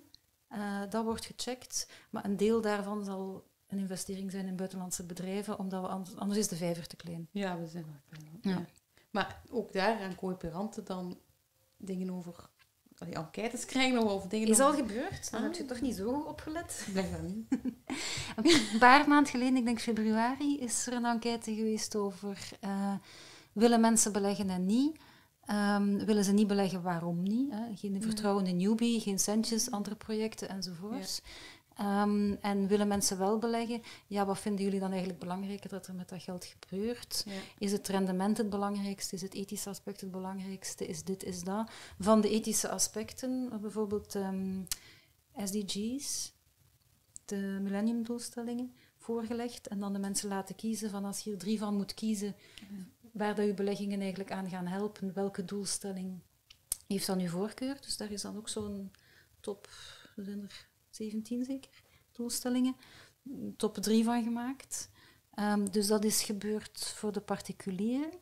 En dan hebben we ook een aantal van die, ik noem ze altijd organisaties uit het middenveld, bevraagd meer één op één. Van jullie zijn bezig ehm, met, jullie weten veel over eh, oorlog en wapens. Welke zijn de bedrijven waarvan het niet zo zichtbaar is dat ze daarin investeren? Dus kunnen we die schrappen? Jullie zijn bezig met zachte mobiliteit. Wat is jullie standpunt juist over hybride wagens, elektrische wagens enzovoorts? En zo hebben we dus met organisaties één op één afgestemd van wat is eigenlijk ethisch en niet. Er zijn dingen die, die heel evident zijn, maar er zijn ook dingen waar die organisaties alleen maar studies over beschikbaar hebben. Ja. Dus dat hebben we wel gedaan. Oké, ja, maar... Maar dus in de... allee, nu kan het nog niet, maar binnenkort gaat het wel met die fondsen... Ja, we lanceren zo de producten ja, één na de andere. En ehm, er gebeurt, als we ergens een datum op plakken, gebeurt er altijd iets dat we die niet kunnen respecteren. Dus ik ga dat niet Dus doen. je doet geen Maar binnenkort zijn er nieuwe beleggingsfondsen. Ja, maar ik denk, ja, jullie zullen dat wel allemaal goed communiceren. Ik zal wel alles goed moeten lezen dan. Maar dus like, op dit moment kunnen we nog niet pensioensparen doen. Nee. Maar like, daarnet had het ook gezegd, hè, hoeveel, hoeveel dat, dat betekent als je pensioensparen naar een duurzame bank zou veranderen. En voor mij is dat ook een van de zaken dat, ik, dat mij irriteert. Dat dat, dat niet zo evident is. En ehm, ja, als je je pensioensparen wil verzetten, ik vraag misschien aan jullie allebei, van- naar een andere bank, hoe gaat het dan te werk? Of, of, of. Want voor Bert Gabriels was het ook niet zo gemakkelijk. Ja, ik... Het is heel stom waarschijnlijk, maar ik, ik doe er nog niet aan. Blijkbaar is dat normaal aan millennials, zeggen ze. Maar Ja, ik Totdat wel. ik, eh, en, ja, totdat ik ergens proper terecht kan, denk ik. Ja, En bij. VDK heb ik wel getwijfeld van, oh, dat zou ik nu toch niet. Maar dan volgde ik, nieuw, allee, ik volgde newbie van nabij genoeg om te, te zeggen, ja, ik ga nog even wachten. Ja. Oké, ik weet wel, ik kan nu sparen bij VDK en dan zet ik dat stop en dan begin ik bij newbie. Maar ja, als wij... ehm, wij zijn eh, aan het bouwen, hè, het Mhm. co-housing project aan, eh Mhm. aan Dampoort Station. ja. En daar is, hebben we een stuk voor geleend bij Triodos nu. Ehm, en een, de- een heel groot deel gaat nog van ons moeten komen. Dus daar spaar ik nu eigenlijk voor. Ik hou Ja. dat dan liever bij om daarin te Ja. steken dan, dan om het al Ja. kwijt te zijn. Dus, Pensioensparen is natuurlijk niet echt kwijt, maar wel tijdelijk kwijt. Ja, als je voilà. het verzet, dan zijn een stuk kwijt, hè. Ja, dat ook. soms. Want allee, bij ons is dat, ik weet niet hoe dat, maar, maar dat was vanaf wat mocht, zijn mijn ouders dat beginnen doen, denk ik. Of wel, Pensioensparen. ja, bij mij was dat wel zo. Voor u. Maar niet voor... Mooi. Wacht, een deel van mijn zakgeld, 10% van mijn zakgeld, zatten ze daarop. Dus ik heb dat nog altijd. Voor huwelijk sparen Toen- was dat. Ja, dat ook. Ja, dat Maar is ja, niet echt pensioensparen. ik ben nu ook. getrouwd. Ja. Maar dat was van zo, ja, dat kon. Mhm. Ehm, ja, dat, maar ik denk dat, dat, dat jij al uit thuis was toen of zo. Ah, Want je oké. zei, Ja, nee. stuk dat is, ouder. eh, dat is nieuw. Ja, en, en, en toen kreeg ik... Mijn zakgeld sloeg niet op, maar een deel ging dan daar naartoe. Dus ik wil gewoon even zeggen dat ik al redelijk lang pensioen spaar, maar wel nog altijd bij dezelfde bank. En ik ben ook nu aan het wachten van, van zodra dat bij Newbie ga, wil ik daar ook naartoe gaan en vraag ik mij af, dan moet ik gewoon naar mijn bank gaan, neem ik aan, en zeggen van, ik zet het hier stop en, gaan, en ik begin daar. Of, of, maar dat Ik weet misschien- niet hoe het juist te werk gaat. Wat ik wel weet is bij de verzekeringen bijvoorbeeld. Moet je eigenlijk gewoon onze verzekeringen contacteren, zeggen ik wil die verzekering. En dan doen onze mensen het werk naar Ja. uw huidige verzekeraar. Dus ik denk dat Newbie dan ook met dat pensioensparen zal helpen om die Ja. overgang te maken. Zodra dat kan, dan ga ik dat doen. eh. Om- ik zou ook nog- iets willen vragen. Die- Je hebt al eh 112.000 mensen achter jullie. Hoe reageren nu die andere banken? Heb je daar al officieel reacties keer van gehad? Hoe dat ze daar naar jullie kijken? Ze kijken, De grote banken, Ja. dat gezegd wordt. Mhm. Ja. ze kijken, ze vinden het interessant. Ze zetten zelf ook groene producten op de markt. Ehm, Ja, bij, die, bij die groene, nu ja, bij die Ja. groene waren er Ja, inderdaad... ja, ja, eh, ja. Maar ik denk dat de intonatie ook al veel zei. Ehm, dus, dus ja, iedereen wil nu groen en ethisch zijn. Ehm, en, en draagt dat etiket en, en communiceert vaak over wat daarachter zit. Ehm, maar ik denk dat nog altijd heel veel mensen ons bekijken van ach, tof, wat schattig, dat projectje. Och, en ze hebben nu nog rekeningen ook. Dus ik denk dat we zwaar onderschat worden door iedereen. En dat iedereen zo verbaasd is dat we al zo ver zijn. Eh, maar nog altijd niet echt denkt Ja. dat we groot zullen worden. Terwijl, je hebt het aantal daarnet gezegd, zoveel coöperanten. eh, we zijn eigenlijk een burgerbeweging. We zijn een maatschappelijke Ja. beweging, Mhm. naast het Dat feit waar. dat we een bank zijn en nog zoveel meer dingen. Dus we zijn best wel belangrijk en ik denk dat dat wat onderschat wordt door andere banken. Ja, want ik denk dat jullie hebben ook ergens een punt al bewezen dat daar eind 2019 was, Mhm. met die... 35 eh, miljoen? Ja, Ja. die hadden zoveel nodig. En toen, ik weet nog, ik was, ik was niet alleen. Er waren nog mensen die die avond de hele tijd aan het refreshen waren. Dat scherm van, allee, zijn er bijna. Ik hoor, ik werd zot. En dan had er iemand gezegd, ja, maar het is achter. Eigenlijk zijn ze er al. Maar nog niet op de site. Ik zeg, nee, ik geloof het niet. Dus dat was een heel spannend moment, gewoon om te tellen of, of jullie aan jullie bedrag zaten. En ik vond dat ook ongelooflijk dat er zelf mensen dat ik nooit verwacht had, dan, die dat gingen doen, die Mhm. daar ook op hadden geïnvesteerd. En ik vond dat mooi, want dat bewees van er zijn wel veel mensen die erin geloven. En dat vond ik al een, een dikke middenvinger. Ik doe ook Ja. even eh, aanhalingstekens naar Ja. de grote banken. Omdat je dat toen wel al bewezen heb. Terwijl ik eh, de, dezelfde weken waren er veel interviews op de radio daarover. Dat ik hoorde van ja, dat heeft geen nut meer. En, en zulke dingen. Van wie zit er nog te wachten op een duurzame bank? Dus ik Ja, vond de dat pers wel- was wel negatief toen. Ze waren heel Ja. negatief in de pers. Dus, maar ik vond dat zalig. Toch de Vlaamse pers, want het had Ja. ook blijkbaar de Franstalige kant was iets. Ietske positiever. Ja. Ja. Maar Ja. ik denk, je mag wel niet onderschatten dat onder het, het- die 116.000 coöperanten zitten wel heel wat bankiers Mhm. die voor andere banken werken, ja. maar die wel het project heel genegen zijn. Of, of, dat hebben ook de mensen van Newbie die voor andere samenwerkingen contact hadden met, met bankiers, wel gemerkt van ja, wij zouden eigenlijk ook wel heel graag hebben dat jullie er komen, ook al mogen we dat niet luidop zeggen. Ehm, juist omdat wij ook wel willen dat er dingen bewegen. Mm. Dus het is ook niet zo dat. Allee, het is, newbie is, is, is natuurlijk een uiterste in het spectrum, maar het is niet zo dat, dat er in alle banken alleen maar niet-ethische Mhm, dingen gebeuren. Het is gewoon... Het, allee, het is hallucinant dat het 2021 moet worden, vooraleer dat je met je geld bij een bank terecht kunt die u belooft van een aantal dingen niet meer te zullen doen. Mhm. Dat is hallucinant en het, het wordt wel tijd dat allee, Ja. dat, dat een beetje een stigma krijgt ook bij, bij de Mhm. grootbanken. Dat is eigenlijk vooral het, het signaal dat er gegeven moet worden. En dat, dat klinkt wel luider en luider. Mhm. Ja. ja, en dat klopt volledig, want we zijn nu ook aan, aan het aanwerven. De bank wordt altijd maar groter, we hebben altijd maar extra functies. En veel mensen die daarop solliciteren komen uit de traditionele banken. En ik heb hen al vaak horen zeggen van wauw, het is zo verfrissend dat bij Newbie de aandeelhouders ook de klanten zijn. Mhm. Want traditionele banken zijn verplicht, iemand heeft het letterlijk gezegd, om hun klanten uit te persen als citroenen om geld te hebben voor de aandeelhouders. Ja. Ehm, en die persoon voelde zich daar heel erg bij op zijn ongemak, maar bon, die was daar door het leven ingesukkeld en, en ja, iedereen moet werken eh, om de facturen te betalen. Ehm, en die zei van ja, ik ben daar niet comfortabel mee en veel mensen niet, maar het, het, het systeem, de grote bank, werkt nu gewoon zo. Dus ik ben heel blij dat ik daar vanaf ben en dat bij Newbie dat dat eigenlijk dezelfde mensen zijn. De klanten en de aandeelhouders. Ja. Dus ja, dat is ook wel als iemand ergens, gewoon als je ergens moet werken, waar dat je er ook je niet goed bij voelt, Ja. dan, dan, allee, dan, is, dan word je daar ook een beetje ziek van. Allee, misschien niet letterlijk, maar dan is het wel mooi als ze bij jullie eh, zich wel eigenlijk beter Ja. thuis voelen, omdat het Ja. voor een goed doel doet. Ehm, ja, en omdat we het nu toch een beetje over de toekomst hebben, ehm, hoe zien jullie eigenlijk de toekomst van het bankieren? Als Dat is een over- goede vraag. ja, dat is een, een algemene moeilijke vraag misschien, maar van, ehm, denken jullie bijvoorbeeld dat die banken ook hetzelfde gaan beginnen doen als Newbie, of, of, of, of, of dan ze gepusht worden, of dan ze verplicht, of dan ze gaan verdwijnen? Ehm, dat er alleen maar kleine banken meer gaan zijn? Of, of, hoe, hoe, hoe- of hoe hopen jullie eigenlijk?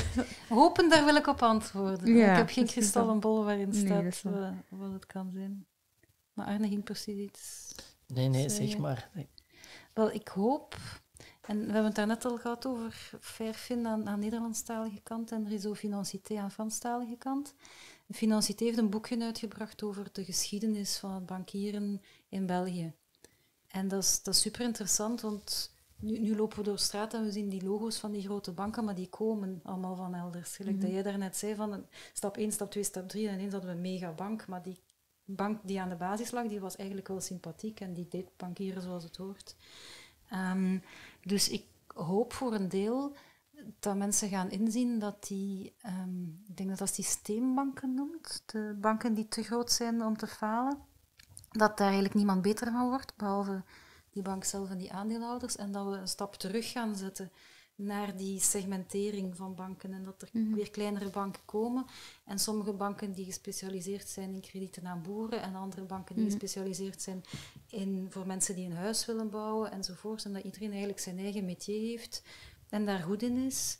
En dat dus zowel de mensen die er werken als de mensen die er klant zijn er eigenlijk beter van worden. Dat, dat zou ik heel graag hebben. En ehm, voor de mensen die, die graag iets in het Frans lezen, want ik denk dat het niet vertaald is, is dat echt wel een heel toffe publicatie van, eh van Financité. valt op hun site eh, te bestellen. Ehm, dus aangezien dat meestal altijd pendelbewegingen zijn van klein naar groot naar klein, hoop ik dat dat gaat gebeuren. Ehm, anderzijds denk ik ook misschien dat het een beetje zal moeten. Want de bankwereld zoals ze nu bestaat, is eigenlijk een reus op leme voeten. Maar ik hoop dat dat dan wel gaat zonder crisissen zoals die van 2008 bijvoorbeeld. Maar dat het meer een, een mooie transitie Ja. zal zijn. Het is gewoon beeld, hè. een reus op leme voeten. Ja, dat klopt wel. Ja, bankieren, sowieso voor onze generatie, denk ik, is het al geëvolueerd van een gebouw naar een app eigenlijk. Hè. Of Ja, naar eh, iets dat zich op je computer afspeelt.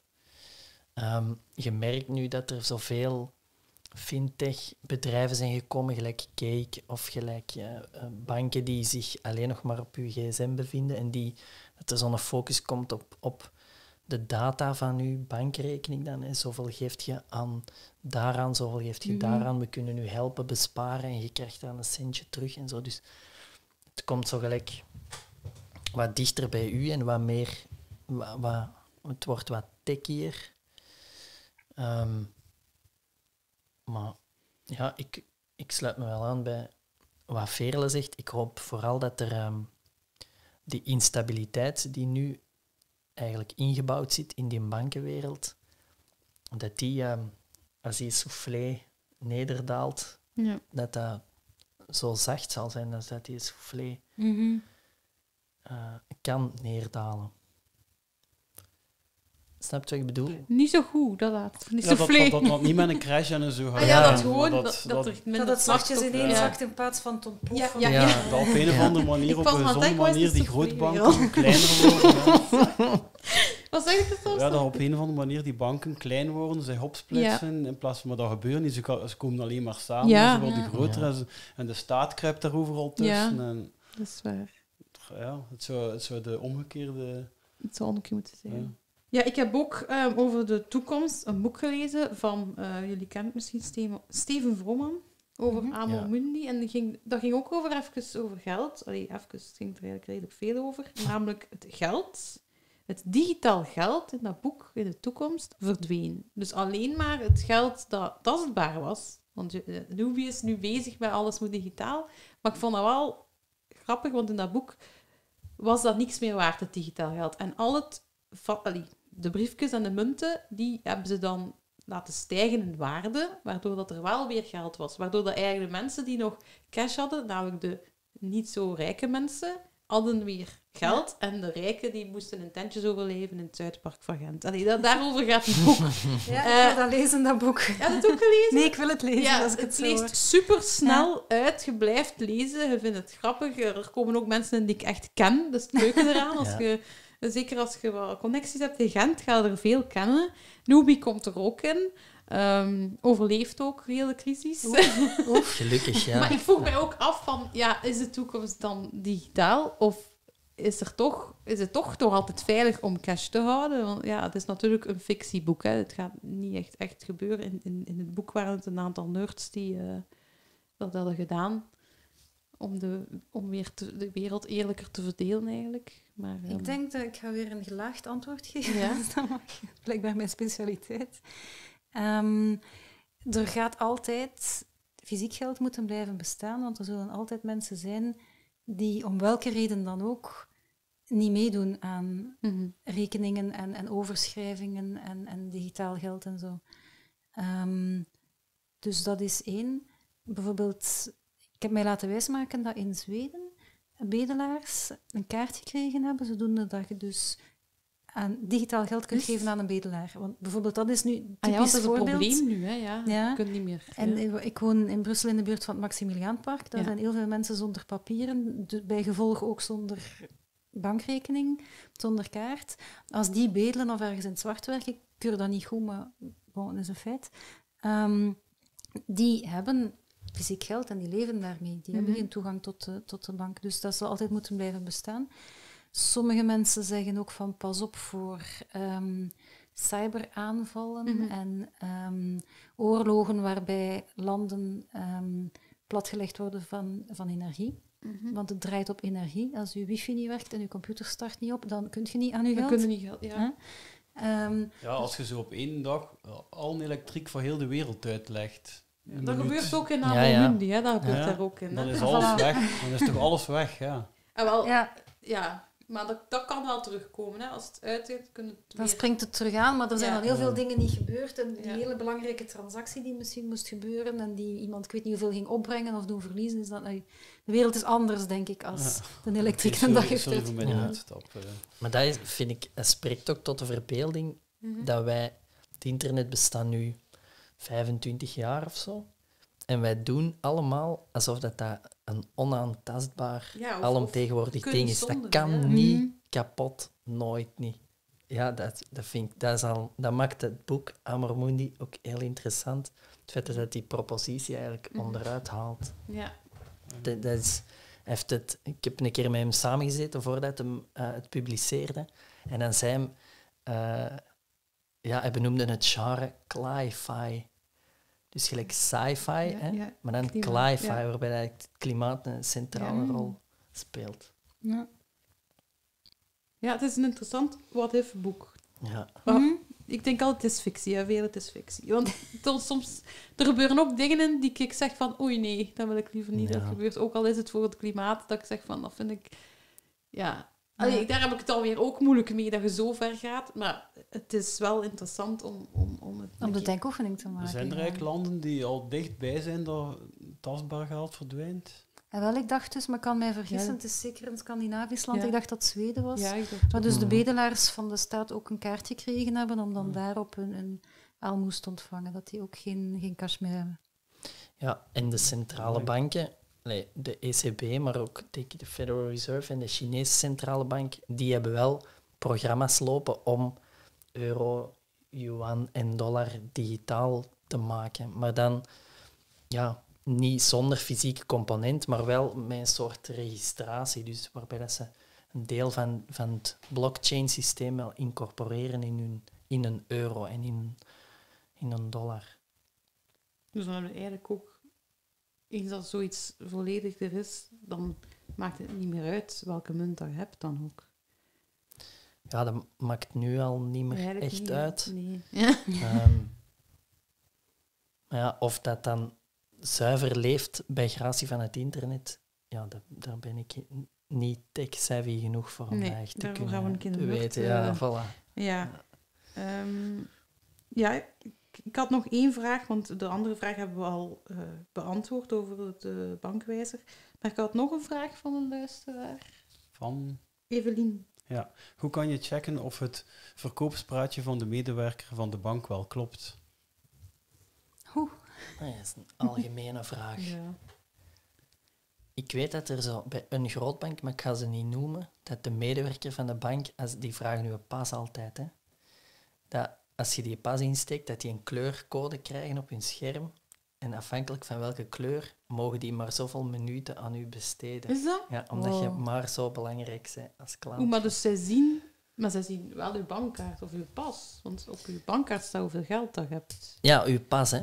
Dus uw bankkaart, nee. Nee, uw, uw ident- Maar identiteitskaart. daarop weten ze toch niet hoeveel geld dat je hebt? Nee, maar die, die, daarmee opent uw iets of klant zo. een dossier en dan kunnen zij zien welke producten dat je allemaal hebt en daar staat dan een kleurtje Ja, dat bij. gaat voor- niet over kloppen of niet, maar dat gaat Maar wel ik- over beïnvloed worden Ja. en de manier waarop dat ze u behandelen. Ah, Ja. dus dan zien ze ah, een vrouw Dan zien bij ze, mij en... ja, die, die, levert, ja, die levert ons zoveel geld op, want die heeft zoveel producten bij ons gekocht. Oké, die gaan we snel buiten jagen. Of, ah nee, nee, geef die man een koffie en doet er maar een koekje bij. En dus, Oei. Ja. Ik ga dat keer opnemen. Ja, ik ga daar nu ook op beginnen letten. Ja, ja, ja. Ik krijg een keer een koekje bij een koffie of niet. Ja.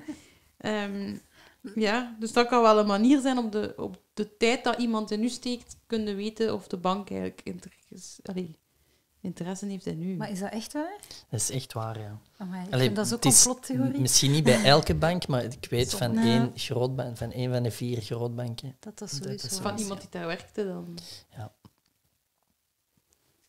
Ja, en dan kan ik checken of het verkoopspraatje waar is. Die gaat altijd terugvallen op de communicatie van de bank zelf, denk ik. Als, als die persoon zegt van ja, ik raad u dit aan en hier is de folder, dan zal Nou, de folder dat wel bevestigen. Dus dan vallen we een beetje terug op de bankwezer. Ja, ik Ja. denk. denk het ook. Dat is ook iets dat, dat Newbay wil doen. Ehm, de bank zei nou dat er eigenlijk geen uitleg bij hoort. Dat je gewoon op de website gaat en van ik wil dat, oké, ik vind dat, ik neem dat, gedaan. Geen verkoper, geen verkoopspruitje. Ja. Bijvoorbeeld sommige banken maken zo van die packages. Ja. Van je wilt de rekening bij ons openen, maar we linken daar dan uw verzekering aan en, en dan krijg je de korting op dat en, en dan je creditcard ook nog, maar dan begint het ineens te kosten, maar je hebt dat niet door, want dat zit in dat package en zo. Dat gaan wij dus gewoon niet doen. Het is, het is Ja. een rekening, een zichtrekening, spaarrekening, kaart, alles apart. Ja. En mensen kunnen echt zeggen van ik wil dat wel, ik wil dat niet. En dan verschijnt er op je scherm, dat kost u zoveel of dat brengt u zoveel op. En klaar. Dus Ja. eenvoud. Ja, keep it simple, stupid. ja, de man die in het eh, bankdossier grotendeels geschreven heeft, is Koen de Vits.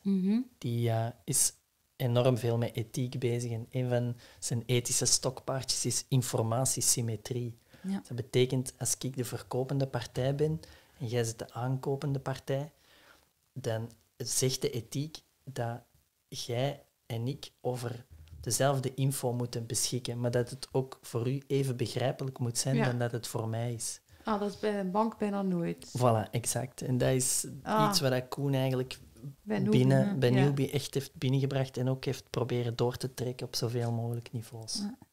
Ja, en ik ken de term eigenlijk uit, uit ons handvest. We hebben, we hebben 13 waarden en die staan op onze website. Mhm. En het is vaak een spelletje met de collega's van wie kan ze alle 13 opzommen. en in de twee talen. Amai. Ehm, maar die waarden zijn ook vertaald naar een gans handvest van 18 hoofdstukken, meer dan 100 bladzijden. En daar staan zo'n dingen allemaal super in uitgeschreven. En bijvoorbeeld als je je dan afvraagt van wat betekent dat, die informatiesymmetrie, dat staat er allemaal super mooi in uitgelegd. En we gaan ook elk jaar afchecken in de handvest van doen we dat nog? Want daar staat echt Mhm. veel in in die 100 bladzijden en het zou kunnen zijn dat in het enthousiasme Ja, ja. Ja. dat we te snel willen gaan of zo. En dus de handvest is daar om altijd te zeggen van ja, maar kijk, dit waren we van plan, doen we het goed, Ja. doen we het niet, zijn we het vergeten, oeps, herpakken. Zijn we ermee bezig, fijn. Ja. Dus dat soort principes staan daar allemaal in. ja, heel transparant eigenlijk. hè. Dat is de bedoeling. Oké, super. Ehm, ja, zijn er zo al projecten geweest, nu al, dat zo, dat zo twijfelachtig is, dat jullie het voorstellen en dat dat dan wordt afgewezen? Door de coöperant? Ehm, we nu even nadenken. Ja, in die enquête over de beleggingsfondsen hadden wij eigenlijk gedacht dat ze iets anders gingen kiezen dan dat wij dachten dat ze gingen kiezen. Ah ja. Ehm, bijvoorbeeld met al die doelstellingen. ehm, we dachten dat gendergelijkheid iets heel belangrijk ging zijn en dat mensen gingen zeggen van wij willen alleen maar investeren in bedrijven die daarmee bezig zijn, die daar een policy voor hebben. En dan tot onze verbazing scoorde dat van de laagste doelstellingen en eh scoorde klimaat logischerwijze veel hoger. Maar bijvoorbeeld ook beperking van ehm, energiegebruik en zo. Eh, gebruik van land scoorde ook hoger en dat hadden we eigenlijk niet verwacht. maar ja, ik denk dat de meesten daar newbie zijn gegaan voor het klimaat. Dat- Ja, maar in al die waarden zit Ja. ook de gendergelijkheid, dus Ja, dat vonden we dan raar dat dat zo... Maar het ligt misschien ook gewoon aan hoe dat we de vraag geformuleerd hebben. Of zo, Mhm. maar, dus om op uw vraag te antwoorden, ja, soms zeggen ze niet wat dat we verwachten, dan passen we ons aan. Dat is wel waar. Allee. Maar ehm, goed, ik, eh, heb jij nog een vraag, Christophe? Dat mag, hè? Eh, ja, misschien, eh, misschien wel uit jullie ervaring. Hoe, ehm, eh, hoe, hoe schatten de moeite dat je moet doen om zo al die domicilieringen en al die... Daar kijkt die, dat is een drempel, daar denk ik wel wat luisteraars tegen aankijken. Ehm, ja, hoe, hoe schatten dat in? Hoe zwaar was dat voor jullie om te doen? Ehm, Dat is eigenlijk super gemakkelijk. Ehm, dat is zeker ook niet zomaar. De telecomoperatoren van uw gsm hebben zo onderling beslist van oké, we gaan dat gem- vergemakkelijken. Hè. Jij houdt uw gsm-nummer bij en wij zorgen dat die een boel geregeld wordt tussen contract 1 en Mhm. contract 2. Je moet dan gewoon het nummer van je nieuwe simkaart doorgeven. De banken hebben zoiets ook. Dat heet de bankoverstapdienst. Alleen dat bestaat nog niet zo lang dat die ook al uw domicilieringen vanzelf overzetten. Maar die doen dat dus. Dus in principe kun je die, via die bankoverstapdienst kun je die contacteren en eens dat je je Newbie-rekening hebt, ge- hebt geopend, zetten die eigenlijk vanzelf alles over. Ah, dus je moet niet ieder eh, begunstigde contacteren Nee. zelf. Nee. Oh, ja. Ik denk dat dat een opstekertje is voor de mensen Ja, die... dat is wel een Ja, goede ik kan me ja. voorstellen dat je daar tegenop ziet. Dat is wel waar. Ja. En de rekening openen zelf is eigenlijk ook zo een, een parcours. Ik denk over acht schermen of zo is, is, is het in orde. Ja. En dan krijg je je persoonlijke code en kunt je aan de slag met je rekening. Ja. Ja. Mijn ouders hebben een eh, Newbie-rekening. Ja. En eh, eh, ja, ik heb de- hen wel geholpen om die te openen, maar eigenlijk hadden ze het zelf gekund. Mhm. Ja. Dat is ook op de, op de smartphone, hè? Ja. Ja. Of voor wie dat niet heeft, is er zo een, een wat dat we in Vlaanderen een bakje noemen. Ja, een, eh, maar het is geen kaartlezer. Andere banken hebben dus een bakje waar dat je je kaart in steekt. Ja, Bij gebreken aan kaart natuurlijk, bij Newbie momenteel. eh, hebben wij iets eh, dat een digipas heet. En dat kan dus ook die QR-code scannen. Ah, ja, ja, ja. zo'n Ehm, ja. En het is, ja, het is natuurlijk een bakje in plastic, maar het is om de mensen te helpen die geen smartphone hebben, om die rol te spelen. En je kunt het met acht mensen gebruiken. Ah, oké. Dus het is niet gelinkt aan uw persoon, maar je kunt met acht mensen een verschillende code instellen en het met acht mensen gebruiken. Oké. mag ik nog één ding zeggen over? Mhm, Zeker, ja. Het is ehm, omdat wij klinken zowel als enorme dromers ook, maar ons eh, hoogste orgaan, dus dat is die algemene vergadering, hè, waar dat alle eh, investeerders op welkom zijn, dat bestaat uit drie categorieën. De A-categorie zijn alle organisaties waar Veerle van sprak, dus NGO's, VZW's, organisaties uit het middenveld. De B-categorie zijn alle particulieren. En de C-categorie zijn de grote investeerders, die, dus die 200.000 euro of meer per investeerder eh, hebben geïnvesteerd. Er wordt eigenlijk maar een beslissing goedgekeurd als in elk van die groepen een meerderheid is. Dus dat betekent dat er een natuurlijk evenwicht is tussen de, de ethische waarden die door de middenveldsorganisaties worden vertegenwoordigd, de belangen van de klant eigenlijk en de gebruiker die door de particulieren worden vertegenwoordigd en gewoon de, de bank, business die door de grote investeerders wordt bewaakt. Dus het is niet zo dat wij ja, compromissen maken op zakelijk vlak of zo. Het moet gewoon allemaal keihard in orde zijn en kei veilig zijn. En duidelijk en proper. Eigenlijk proberen we die, dat en-en-verhaal ehm, zo goed mogelijk gestalte te geven. En daarom dat, daar is eigenlijk dat, die algemene vergadering met die categorieën een afspiegeling van. Klopt. En als je dat in werking wilt zien, op 12 juni is er dus zo'n algemene vergadering. Ja. En je hoeft zelfs geen coöperant te zijn om het te volgen, want er komt een Vimeo-link, denk ik. Je Moet natuurlijk ook niet stemmen, dat is het minpuntje. Maar wie eens wilt komen kijken hoe dat, dat juist in zijn werk gaat.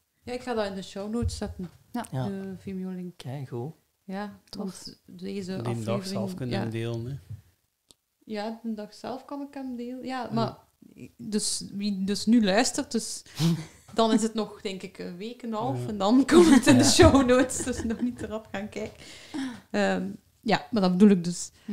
Eh, ja, dat is- dat is tof. Ehm, goed. Is er nog iets dat jullie nog willen droppen?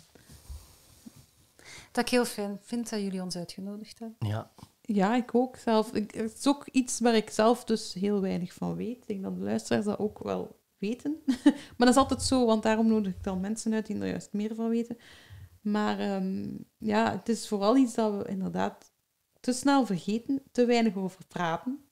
En daar, daar word ik nog altijd mee op de vingers getikt. Maar het is ook gewoon... De, de huidige banken die we gewoon zijn, informeren ons ook gewoon te weinig. En, Mhm. Of informeren ons gewoon niet. Dus ja, dat komt niet rap bij mensen op. Ah ja, ik heb hier juist geïnvesteerd bij veganist te worden of zo. Maar tegelijkertijd doe ik het met, met het grootste aantal geld dat ik heb, namelijk uw spaarrekening. Dus dat is wel ehm, Hm. iets dat ik hoop dat mensen nu wat meer bij stil gaan staan. Ehm, Ja, die banken Ja. kunnen er ook niet altijd aan doen. Allee, ik ben de laatste om ze te verdedigen, maar als er windmolens en zonnepanelen gemaakt moeten worden, ja, die worden industrieel gefabriceerd. Ja. Daar zitten ook ehm, onderdelen, supply chains aan, daar zitten kunststoffen in enzovoort. Dat zijn, die zijn dan afgeleid ook van de petrochemie en zo. Dus ook die heel die transitie, Ja, ja, het is niet, kunt niet zomaar een lijn trekken van vanaf hier wordt het nee. Ja. klimaatbelastend en vanaf hier is Mhm. het proper. Dus die banken, ja, begint maar eens met uw klanten daarover juist te informeren over hoe dat uw investering juist zit. Dat is gewoon, dat is kei moeilijk. Ja. Maar het neemt niet weg dat er ja, een, een best practice kan zijn die Ja. de weg toont. Dat is waar. Mhm. Oké, ehm, ik moet afsluiten met een, ehm, een receptje altijd. eh, op, op vraag van de luisteraar die dat graag horen. Ehm, dus ik heb eh, deze maand mijn ramen gewassen, want het was even toch goed weer. eh, het pakte een uurken of zo. Dat is echt niet te doen. Nu, ik dacht, ah, dat is een leuke tip voor de mensen thuis. Hoe ga je ramen wassen? Dat is eigenlijk met 20 gram maïzena, 100 milliliter natuurazijn en ook 100 milliliter water. Je doet dat in zo'n flesje, allee, een ehm, spuitflesje. Je sprayt dat op je raam en dan veeg je alles af met een doekje die uiteraard herbruikbaar is. En dan heb je ook geen strepen en een mooi glanzend raam. Dus dat wil ik nog even laten weten voor de mensen die even een streepje zon zien om de ramen te kuisen. Ook niet te veel zon, want als de zon te hard schijnt, dan krijg je de hoofdpijn van de weerkaatsing. Van de, allee, dat, dat heb ik toch. Ehm, dus ja, voor de mensen thuis die een ehm, duurzame spray willen voor op de ramen, is dat wel een leuk receptje. En ik zou ook nog iets willen droppen dat ik ehm, ja, nog twee keer de Zero Waste Rollercoaster geef online deze maand. Dat is 27 mei en 29 mei. En het is gratis, dus daar kunt je ook bij zijn. En ik heb er ook een beetje newbie in gestoken voor de gelegenheid. Die komt daar cool. ook nog eens terug. Ehm, voilà. Eh, ik wil Veerle en Arne allebei vrij veel bedanken voor hier te zijn en voor alle duidelijke communicatie. En Christophe ook voor, eh, om hier te mogen zijn, want we zitten hier in zijn atelier. Eh, en ik hoop, ja, voor jullie eh, nog allemaal terug te horen of te zien, allee, beste luisteraars dan, eh, bij de volgende aflevering. En dan gaan we het hebben over nog iets veel, eh, ja, nee, ook iets heel belangrijks. Iets groot ook. Ook iets groot, eh, namelijk Iets de groot en ook iets waar dat Bert Gabriel het al even over Ja. heeft gehad. ja, het gaat Een namelijk... tip. Ja. Oh ja, of gaat zeggen. Mag ik het zeggen? Ja, Ja. Ja, nu willen we het weten. Hè? Eh, het gaat over de klimaatzaak gaan. Eh, Francesca van Tielen komt langs om daar meer uitleg te geven. Ik hoop stiekem dat er al vordering is in de uitspraak, maar eh, ik kan niet beloven en zij ook niet of dat dan al geweten is. Dus tot de volgende keer. Ja, Ja. tot de volgende. Merci, Veerle. Yo. Dank.